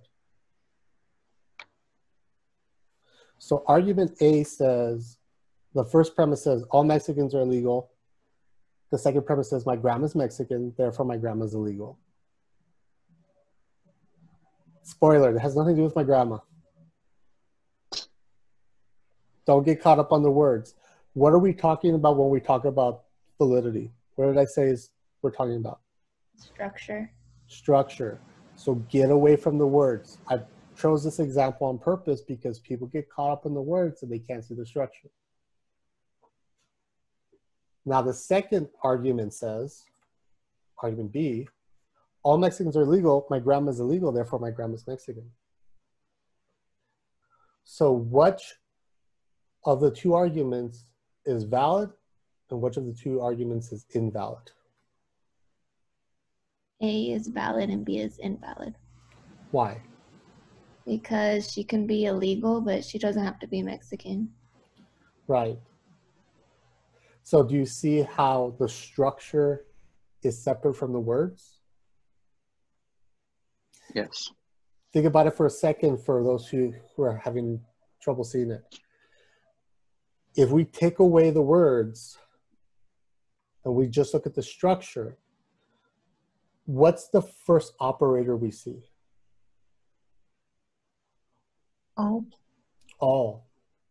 So all tells you what? What do we say? everyone. So categories. Well, all Mexicans. How many categories do we have? Illegal and Mexican. Right. So there's two categories. Mhm. Now, for those who, this is what I'll say, take away the the words. All P's or Q's are my grandma, right? Because it's singular. It's not a group, right? Mm-hmm. R is what? Is a P, right? That's what it's saying. Is Mexican, right? That's the first group, right? So R belongs to P. So then what do you know? What's the conclusion? And my grandma is illegal. R is a Q, right? Because we said all P's are Q's. Oh, right. But if you do the other one, all P's are Q's, R is a Q, therefore R is a P. What's wrong with that?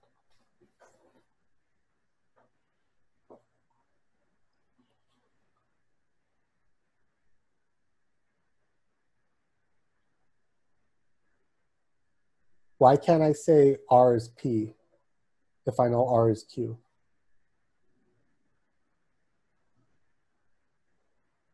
We don't know if the grandma is Mexican. Right, just because she belongs to the second category, illegal, right? Right.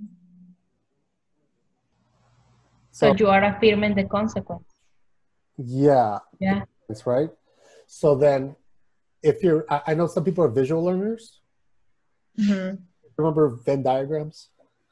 Uh-huh. They're really helpful right now. So the first argument, if we use Venn diagrams to represent the first argument, we have those two categories, right? Right. That's all P's are Q's. All Mexicans are illegal, right? And then we said, what was the second premise for the first argument? Argument A. My grandma is Mexican. So she would go where in the diagram, In the small, in the inner circle. right? And if she's in the inner circle, what do we know? That means she's illegal. Right, she has to belong to the bigger circle. Right. But if we went the other way with the argument, do you see all Mexicans? It starts the same way, right? Mhm. But it says she's illegal. She's in this circle. Does that mean we know she's in the smaller circle? No. No, she could be something else, right? Right. So you see, it's about the structure, it's not about the statements. One's going to get you the answer, the other one's not going to give you the answer for certainty. This one is a certain answer, this one's not a certain answer. Now I'm picking on my grandma, but it does not have anything to do with my grandma, right? So to understand why one argument structure works and why one doesn't has nothing to do with what goes inside the variables. It's just figuring out which has the right structure. And this is the hard part to get through with our psychology is that when we read something like this, we get caught up on the words and we're like, but wait a minute, who's Mexican? Who's illegal? What grandma? And we can't get away from that and see, well, behind it, what's the structure? We go based on emotion Yeah, instead of facts. right. So, I mean, I, I use this example because I don't know, it's like something Trump would say, right? like, because, I mean, let, well, on that point, can either of these arguments ever be sound?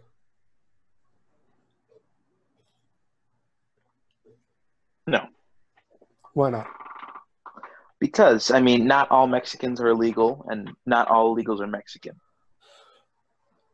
Even deeper than that, this is real philosophy. If you look at the first premise, all Mexicans are illegal, that will will that ever be true? No. Why not? Not all of them are. But will it ever be true? In mm-hmm. the history of the universe, will that ever be true?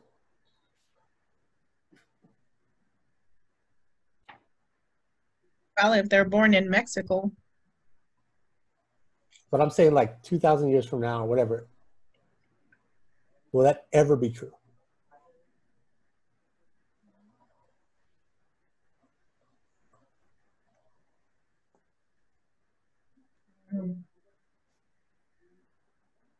No, it will always be false because illegal is not a property of people.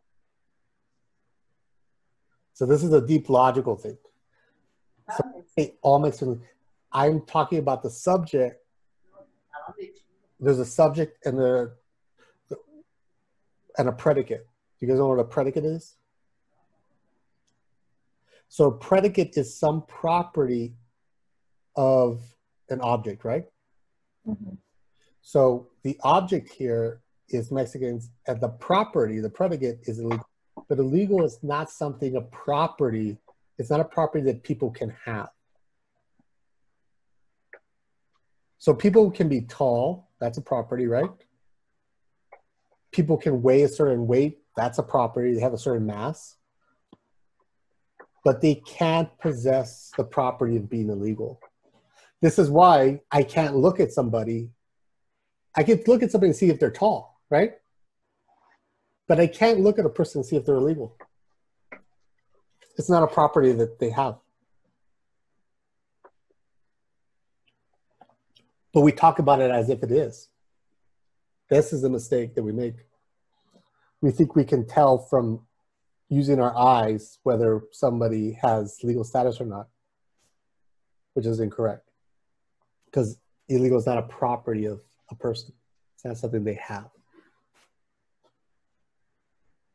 So these arguments will never be false. I'm sorry, sound. Because the first premise will always be false.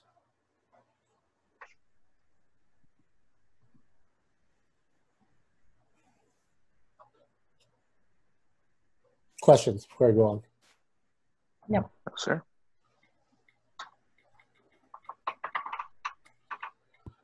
So to remember,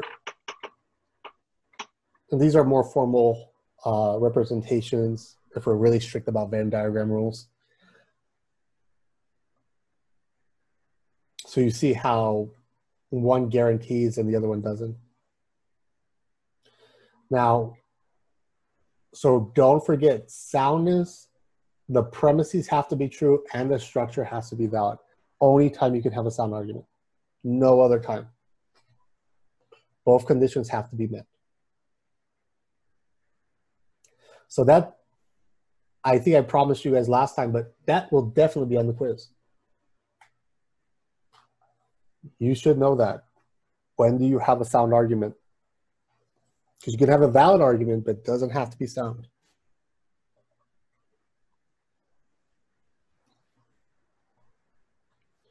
So going back to my analogy, this is what I'm saying.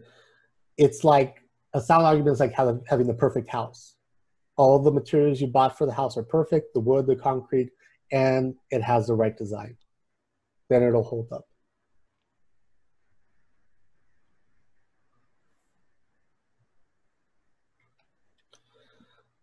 Now, inductive logic, this is the second type of structure. Inductive logic, I said, is going to give you probable support, right? That means that if you have an inductive argument, the conclusion is false, even if the premises are true. It's a possibility. Example here, let's say we took a survey and we asked 40 students at random, right? Different subjects, different levels, what they thought about tuition. And say, would they be okay with tuition going up?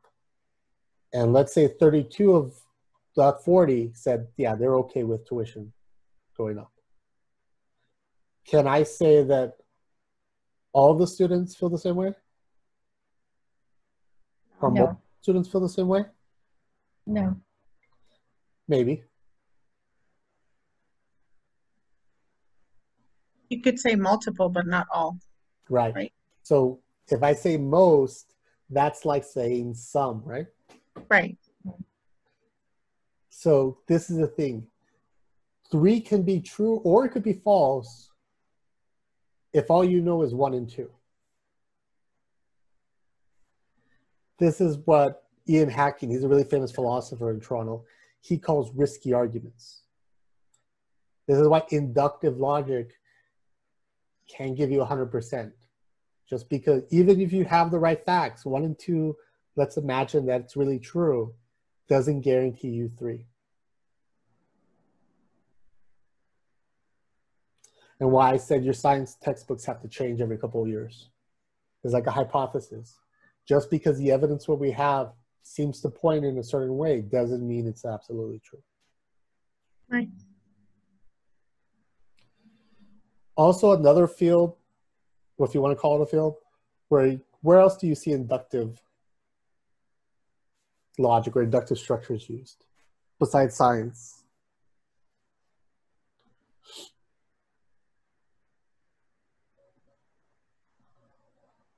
In more general, outside of school, like where would you see people use inductive arguments?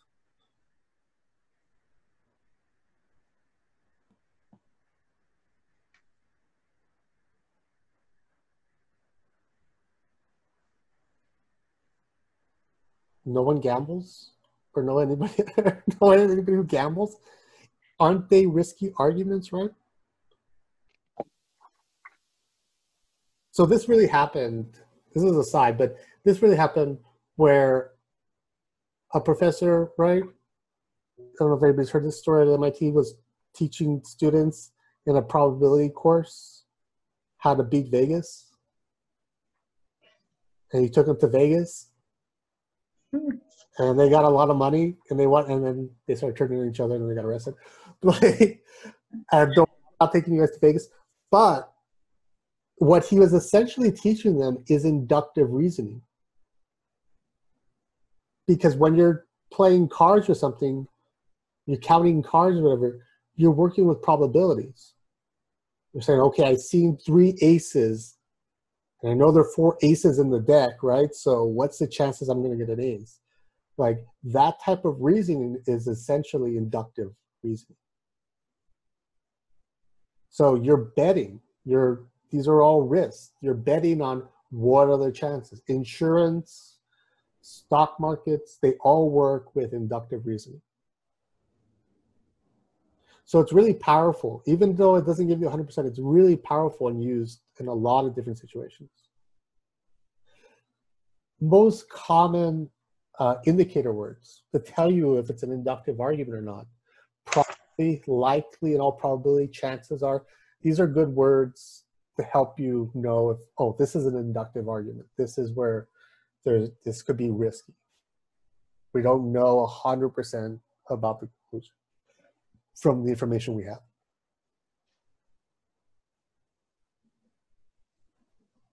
And then I just like John Oliver. So be careful about inductive arguments. They're risky arguments, but they could be good arguments. That's why I said with just because the the soap doesn't kill 100% of the germs doesn't mean stop washing your hands. Like, please do. Now, the three type of structures that you'll see with inductive arguments a lot is a sample to a population, a population to a sample, and a sample to a new sample. So Vaughn doesn't talk about this, but this is why I included. Uh, I'm working. I brought this from Ian Hacking because uh, I think he's he wrote a really good book about inductive reasoning and logic.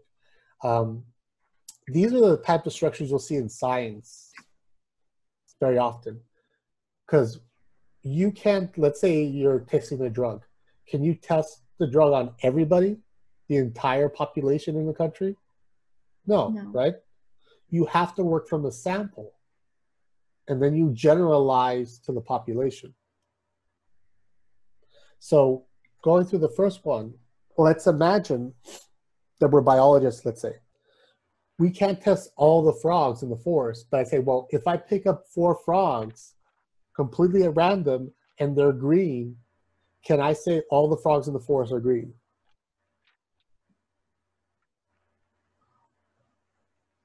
So if one is true, can I say two is true? No. Maybe. Maybe. Because we haven't seen another colored frog yet, right? This is this is what I was saying about the textbooks the information that they're putting in the textbooks is that they're saying, well, this is what we've seen so far. We haven't seen anything different yet. So in medical textbooks, scientific textbooks, this is what they're going with. Their conclusion is the hypothesis. They're saying this is the best hypothesis or theory that we have right now because we haven't seen anything that contradicts it. but doesn't mean it won't later. That some evidence later will say, oh, you know what, we found a different color frog. This is actually a real life case when people would say all swans are white. This is a really famous philosophy case. All swans are white. But is that true that all swans are white?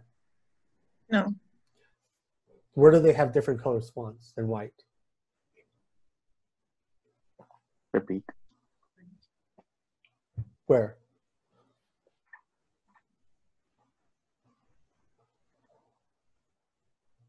Australia.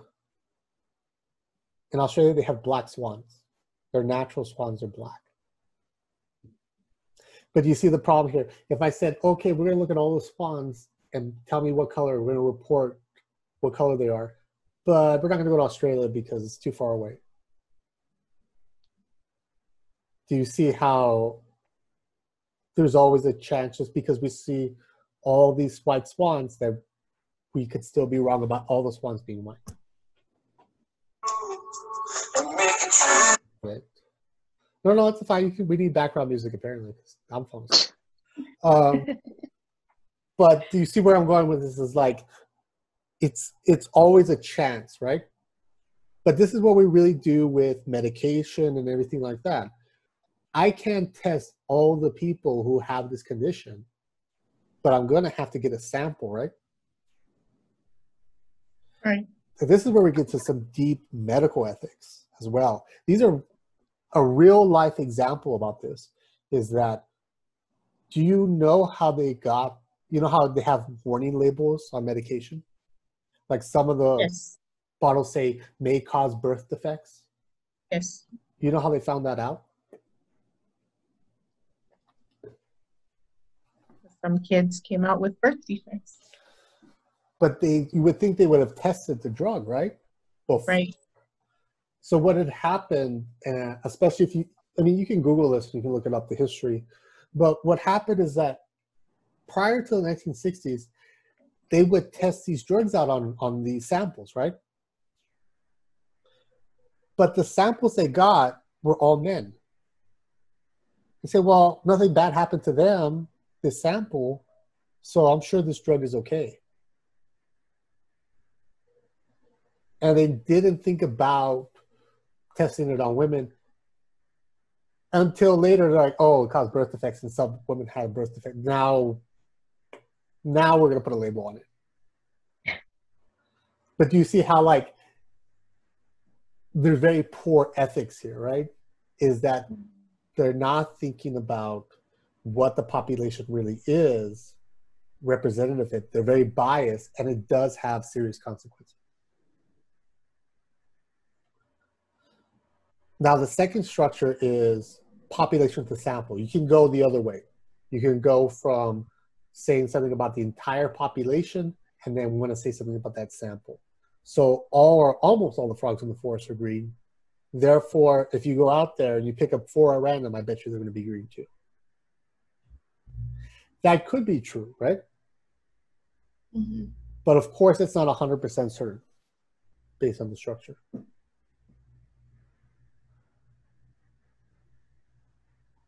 This is also what happens with stereotyping, if you notice. Because think about stereotyping. We say, well, all or almost all those people are like that. So that person is going to be the same way. Do you see how like is a big risk here and it's a form of stereotyping? So this is the hard part. This is why inductive logic, I think, is really important. And then the last one is sample to new sample. That's when you take one sample and then say, well, if it's true for this sample, then it's true for the next sample. That's not the entire population. You're saying that in this case, if it's true for these four frogs, then the next four frogs, it should be true for them too. The same thing we work with uh, in medic in the pharmaceutical industry, I think they rely on this a lot for advertising. This is where the advertising comes in. If it worked for these four people, then it's going to work for the next four people, right? Mhm.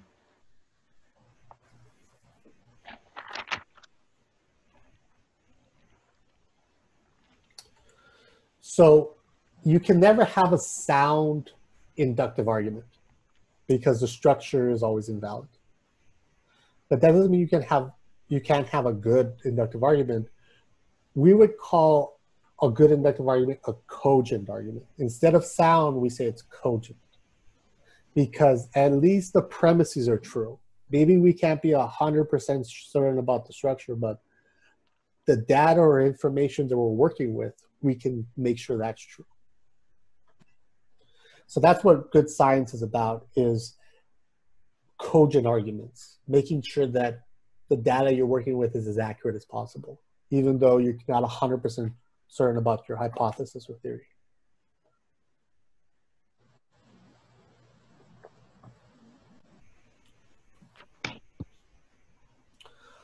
Now, there are plenty of real life cases, of course, of scientists using arguments that are not cogent, that are falsifying data. So there's plenty of cases of that, of where uh, some scientists who are very corrupt have falsified or made up their data to get a drug passed. This is why you have those lawyers on TV, right? Saying, "Hey, have you taken this medication? Do you deserve, like, you know, some compensation for this?" Like, why? Because it's because the the the company that developed the drug, in some cases, they knew had bad side effects, but they weren't going to tell anybody about it, right? Mm. And unfortunately, I think this is the case is that they're doing a cost benefit analysis. They figured out that even if people sue them and all this bad stuff happens, they'll still make more money selling the drug. So they would rather sell the drug, falsify, make up their data, and even if they have to pay lawyers, fees, all this stuff, they'll still make more money in the end, even if they hurt people in the process. which I think is, yeah, there there are plenty of cases like that, unfortunately. So I have another little like question for you guys. It's another little like problem to work on. Now, we're talking about probable statements, right? Inductive statements. So I have four answer choices up here on the right hand side. Sochi's a bank teller. Sochi's an active feminist. Sochi's a bank teller and active feminist. Sochi's a bank teller and active feminist who takes yoga classes. This is what I want you to do. I want you to rank them in order from most probable to least probable. So number one, the four choices, what's most likely? What's least likely? E would be number one, I think. Yeah. One. What's number two then? Probably C. Okay. I say A. And then what about three?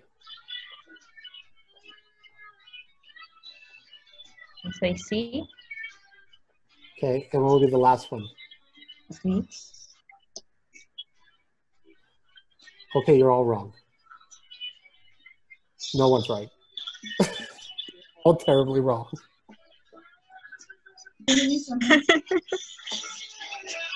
Wow. Because you guys are making assumptions. What assumptions are you guys making? She's a feminist and she's a bank teller. What? Well, any of those are two. No, where, where, what? B is number one.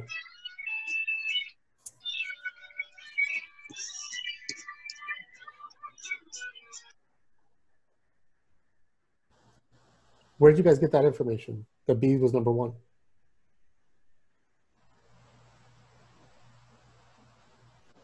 Um, she's for indigenous people's rights and she participated in the unsolved murders of women. But does that guarantee you number one is B?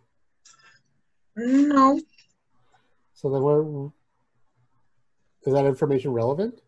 but none of them are none of them are really information as far as because there's no it doesn't state she's a bank teller Uh-huh. Right. It gives no evidence that she's a bank teller.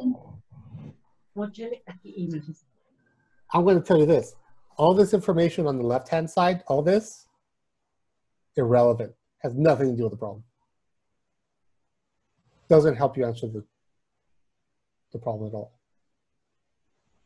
This is why I say the psychology and our logic are two separate things. We start making a story and start telling, because we're really good at making up stories. I don't know, human beings, at least we're really good at making up stories. We love to make up stories. So then we'll say, oh, she's a feminist. Why? Well, because this and this. And we start building this image of her in our head, and we have all this background story. has nothing to do with the facts. There is a correct order here, though. There is a right answer.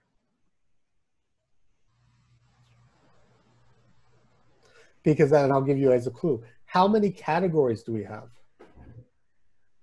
How many mm. categories are we working with?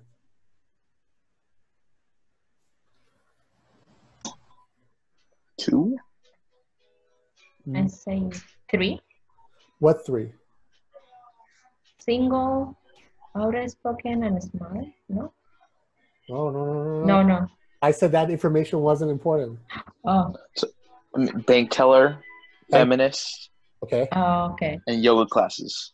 So she belongs. So the categories can be she's a bank teller, right? Yeah. An active feminist, and she's a yoga student. Those are the three categories. Remember my Venn diagram examples? Put that in a Venn diagram. What's the correct order then?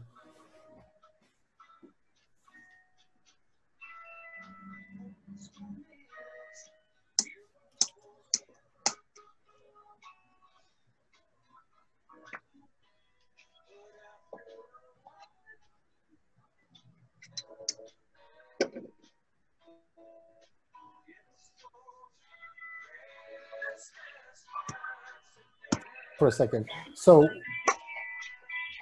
let's go back. She's a bank teller. That's A, right?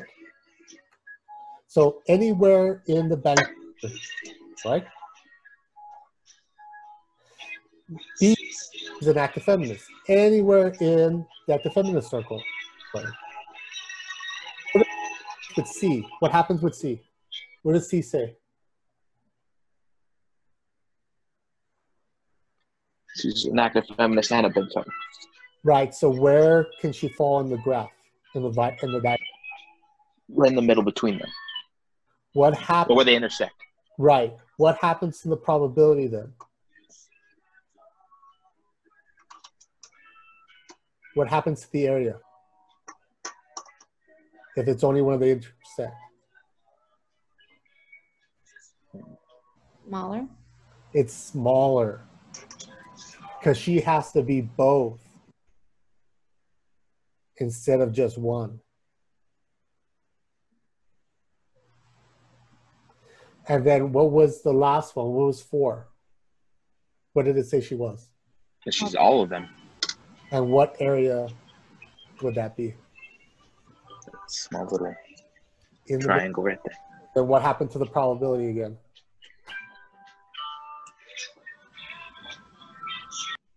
It decreased. Notice what's going on. Because you're putting more and more conditions on her, she has to be this and this and this. You're making it less likely that it's true. Do you guys see that? Yeah. but it's the stereotyping and it's all the other psychology stuff that we get confused about. Let me change the problem and say, what are the chances she's a lawyer, she's a doctor, and she's running for office? Versus she's just a lawyer or she's just a doctor. Do you see how just being one of the categories is more likely than being part of all three categories. Mm-hmm. So what's the correct order then? If we go back. What would be one? Either A or B. Right? Because this is all we know, right? Either this category or that category. So they're tied. And what would be mm-hmm. the next one? What would be two? B. B, because it's only should be part of those two groups, and then three. Three, right? She's part of all three groups. Notice what's happening. This is why I put and. If you have and, she's a bank teller. And see how the probability is getting, we go back, smaller and smaller and smaller? The more ands I mm-hmm. put in there? Mm-hmm. Because she has to do all those things. Mm-hmm. How, what happens if I increase the probability? How would I increase the probability? You can put or. Right, because then I just say or this, or this, or this, right? Mm-hmm. Let me ask everybody. What's the probability? Let's say I got a coin and I flipped it. What's the probability it's going to be heads or tails? 50 50. No.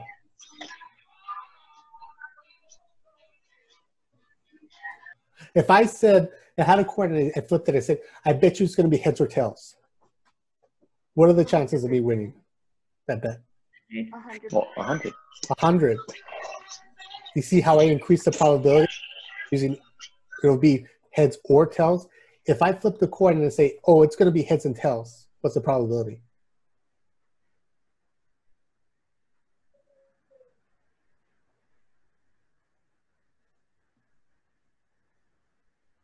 What's the probability of it being both at the same time? Zero. Zero. I'm gonna start betting with you guys because we're paying attention. Like, but do you see? And is going to decrease the probability, or remember those indicator words, or is going to increase the probability.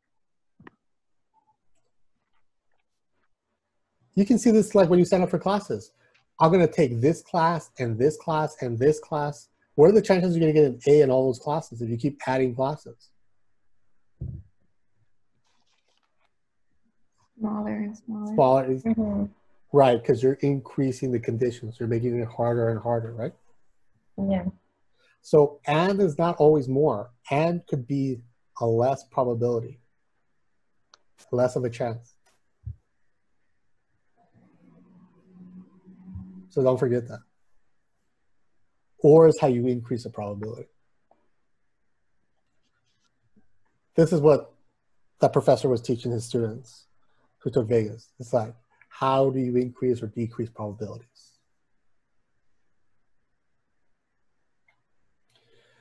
Any questions about that?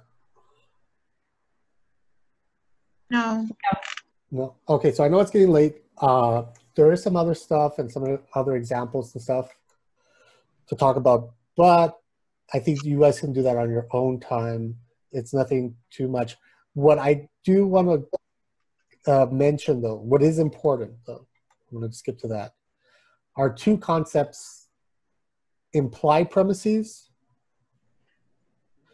and multiple conclusions. And Vaughn talks about this in the PDF. Implied premises are premises that are not explicitly stated. They're underlying premises. Like when people say uh, reading between the lines, it's what people don't say. And this is what you're looking out for. You want to see what are they not saying? What are they assuming in the background to make their argument? So the example here, the use of condoms is completely unnatural. They've been manufactured for the explicit purpose of interfering in the natural process of procreation. Therefore, the use of condoms should be banned. What are they assuming here about that conclusion?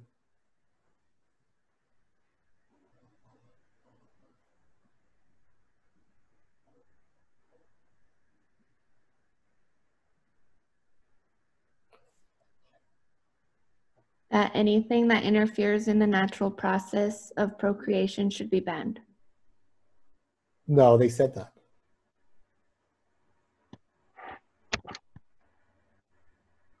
What did they not say? What's the information they didn't clarify?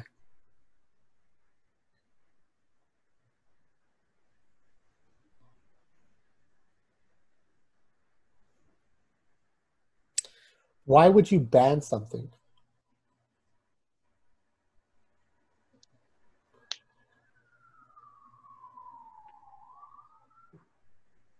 When do we ban something? Why would we ban something?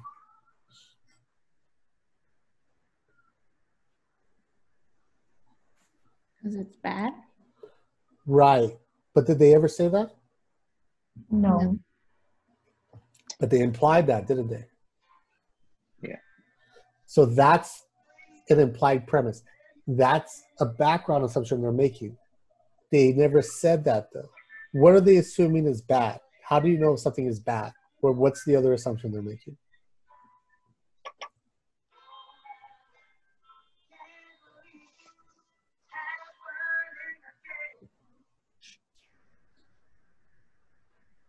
How can you tell bad from good according to this argument?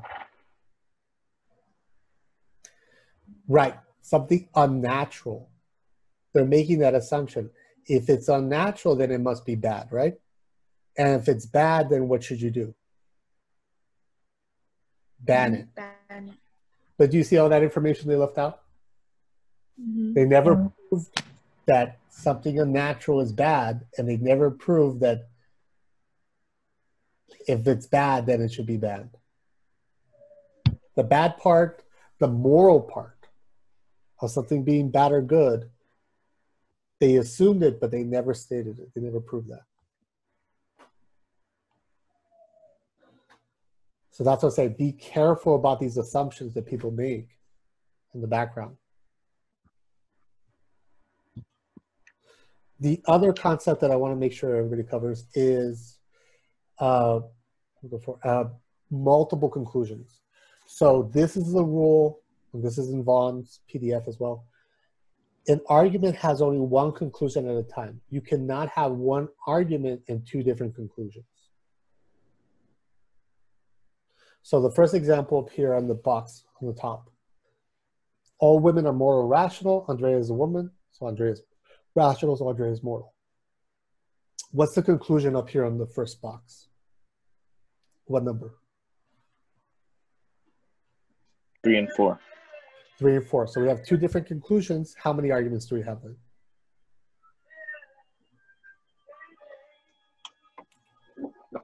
Two.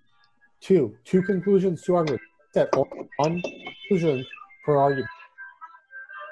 So how did they get to this conclusion, number three, that she's rational? What was the premises?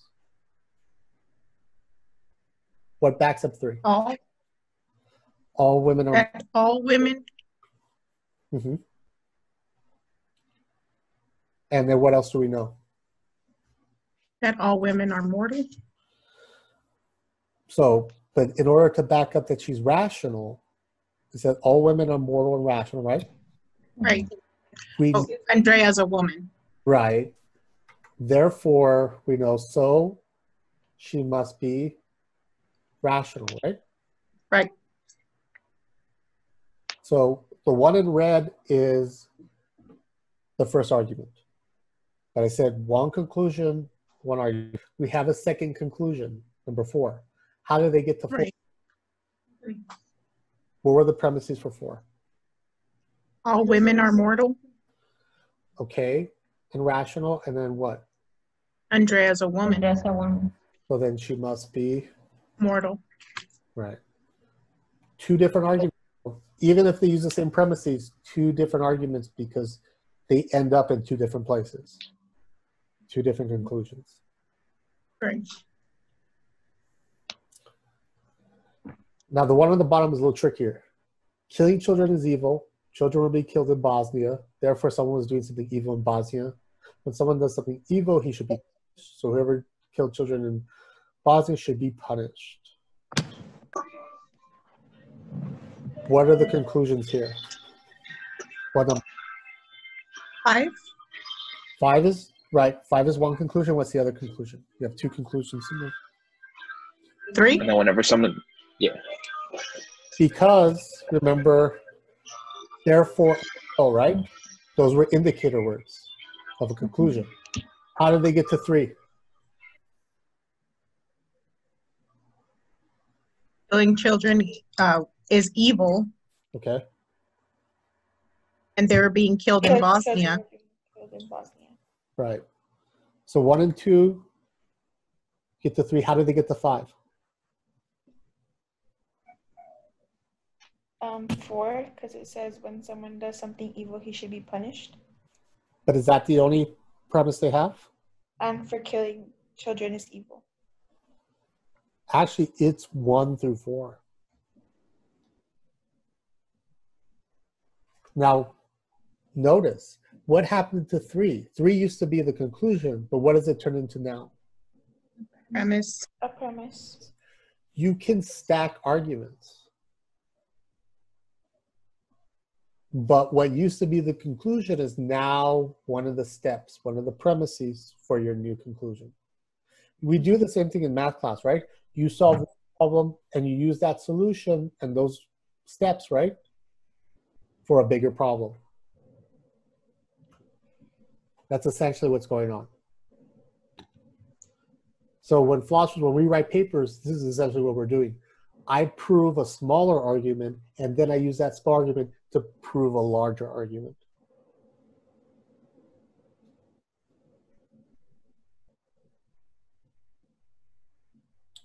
Everybody get that? Mm-hmm. Yes. Okay. Now to wrap it up, because I'm going really far, a lot of the videos that I posted are going to help you with the fallacies. I'm going to skip the fallacies because there's a lot of great videos about each of the fallacies, and they do they have like animation and stuff. It's a lot more entertaining than I am, and they explain very well some good examples. Uh, the last thing I want to cover though is the constructing deconstructing arguments. Vaughn talks about one and two in the PDF, and it gives you some examples on how to do those. So go over those examples and he gives you step by step. Three is my method, and I'm going to show you my method. It's what the basic standard form is what I'm calling it. That's the method that we've been kind of working with so far is that how do you take apart an argument? And I said philosophers are really good at building arguments and taking apart arguments. You can think of us like we're like mechanics or something, right? You can build the engine, you can take apart the engine.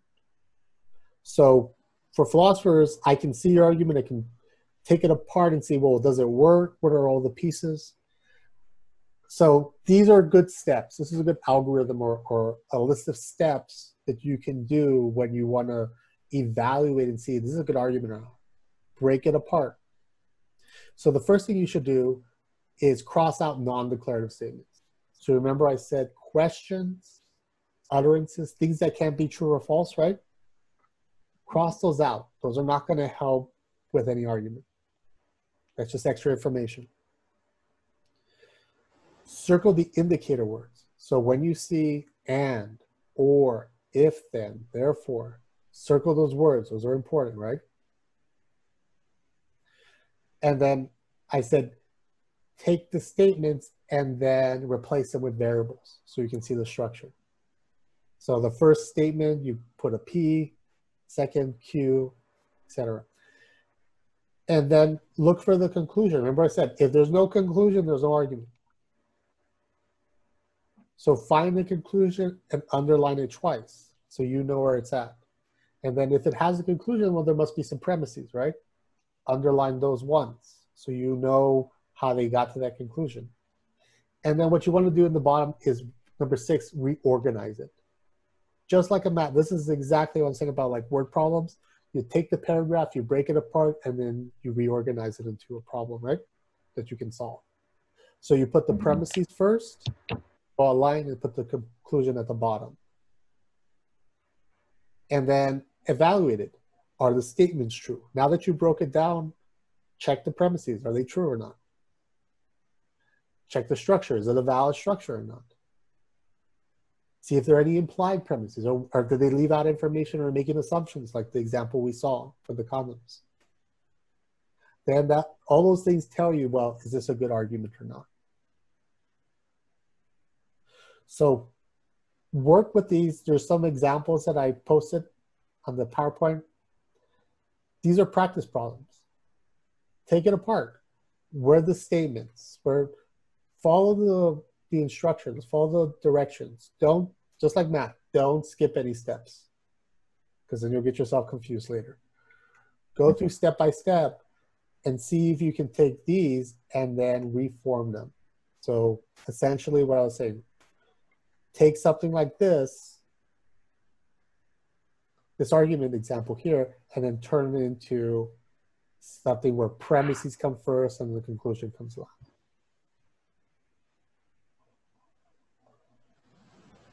And I'm just kind of curious, what would this look like? Actually, let me, I'll do it with you guys real quick.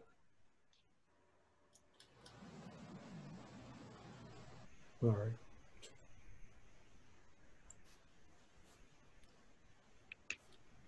So, let me pull this up a bit. If I take this argument, if John killed Bill in self-defense and he did not commit murder, he did act in self-defense or he did not commit. If I take this and reform it into variables, what would I say? If If P, if right, if P then if P, then Q. Q. almost. What do we miss? There's an operator, Not Q. not Q. Yeah, not Q. because it's it's saying the opposite, right? It's saying he did not commit murder. Mhm. What would be the second premise? He P. did self-defense. P, right? Because it's essentially saying the same thing, right? So then, what would be the conclusion? Therefore, not, not Q. Right. You see how I translated it? This is what I'm hoping you guys can be able to do. Translate and see. Now I can look and it's easier to evaluate than just trying to read that paragraph.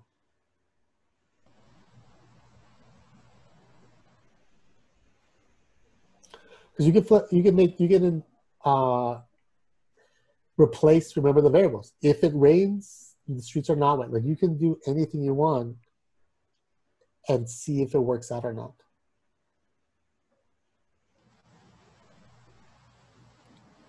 So there's some examples in the book, and I included some examples of well, not in the book, but the PDF I gave you guys and the uh, and the PowerPoint here. You can work out some examples.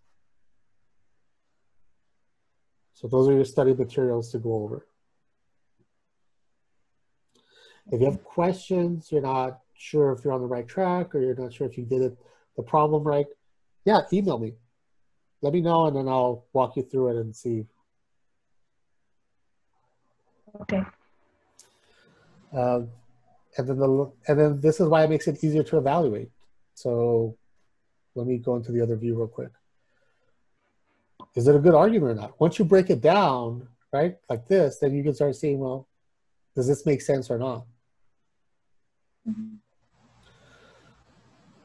Um, the fallacies, they're really common. Like I mentioned, there's a lot of good examples and videos that I included.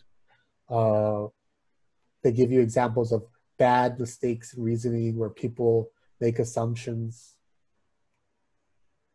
And you can go through those.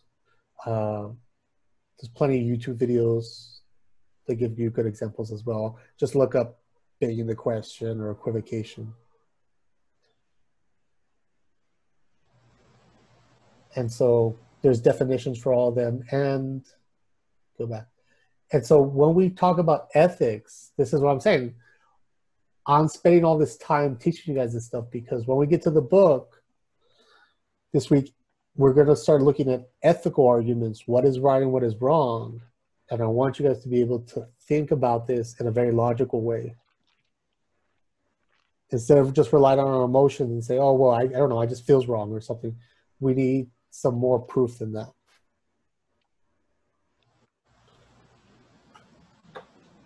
And then I highly recommend, this is where we're headed. So this I included as well. I made this, this is a map. These are all the theories that we're going to cover this semester. Each box is, a, is its theory. They have a different view of ethics. Each one has a different view of ethics. So this is an intro class, essentially, of ethics. Because you can spend, I know those philosophers who do, your entire career on just one of these boxes. But just like an intro to psychology or an intro to anything else, I'm just giving you an overview, a little taste of each one. Uh, since it's a summer session, I had to cut out some though, because I just with time constraints.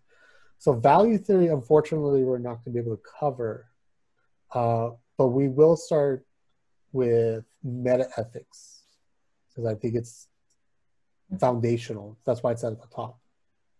So to understand all the ethical theories later, you should understand meta ethics first, and that's where we'll start this week. So make sure you're looking at those.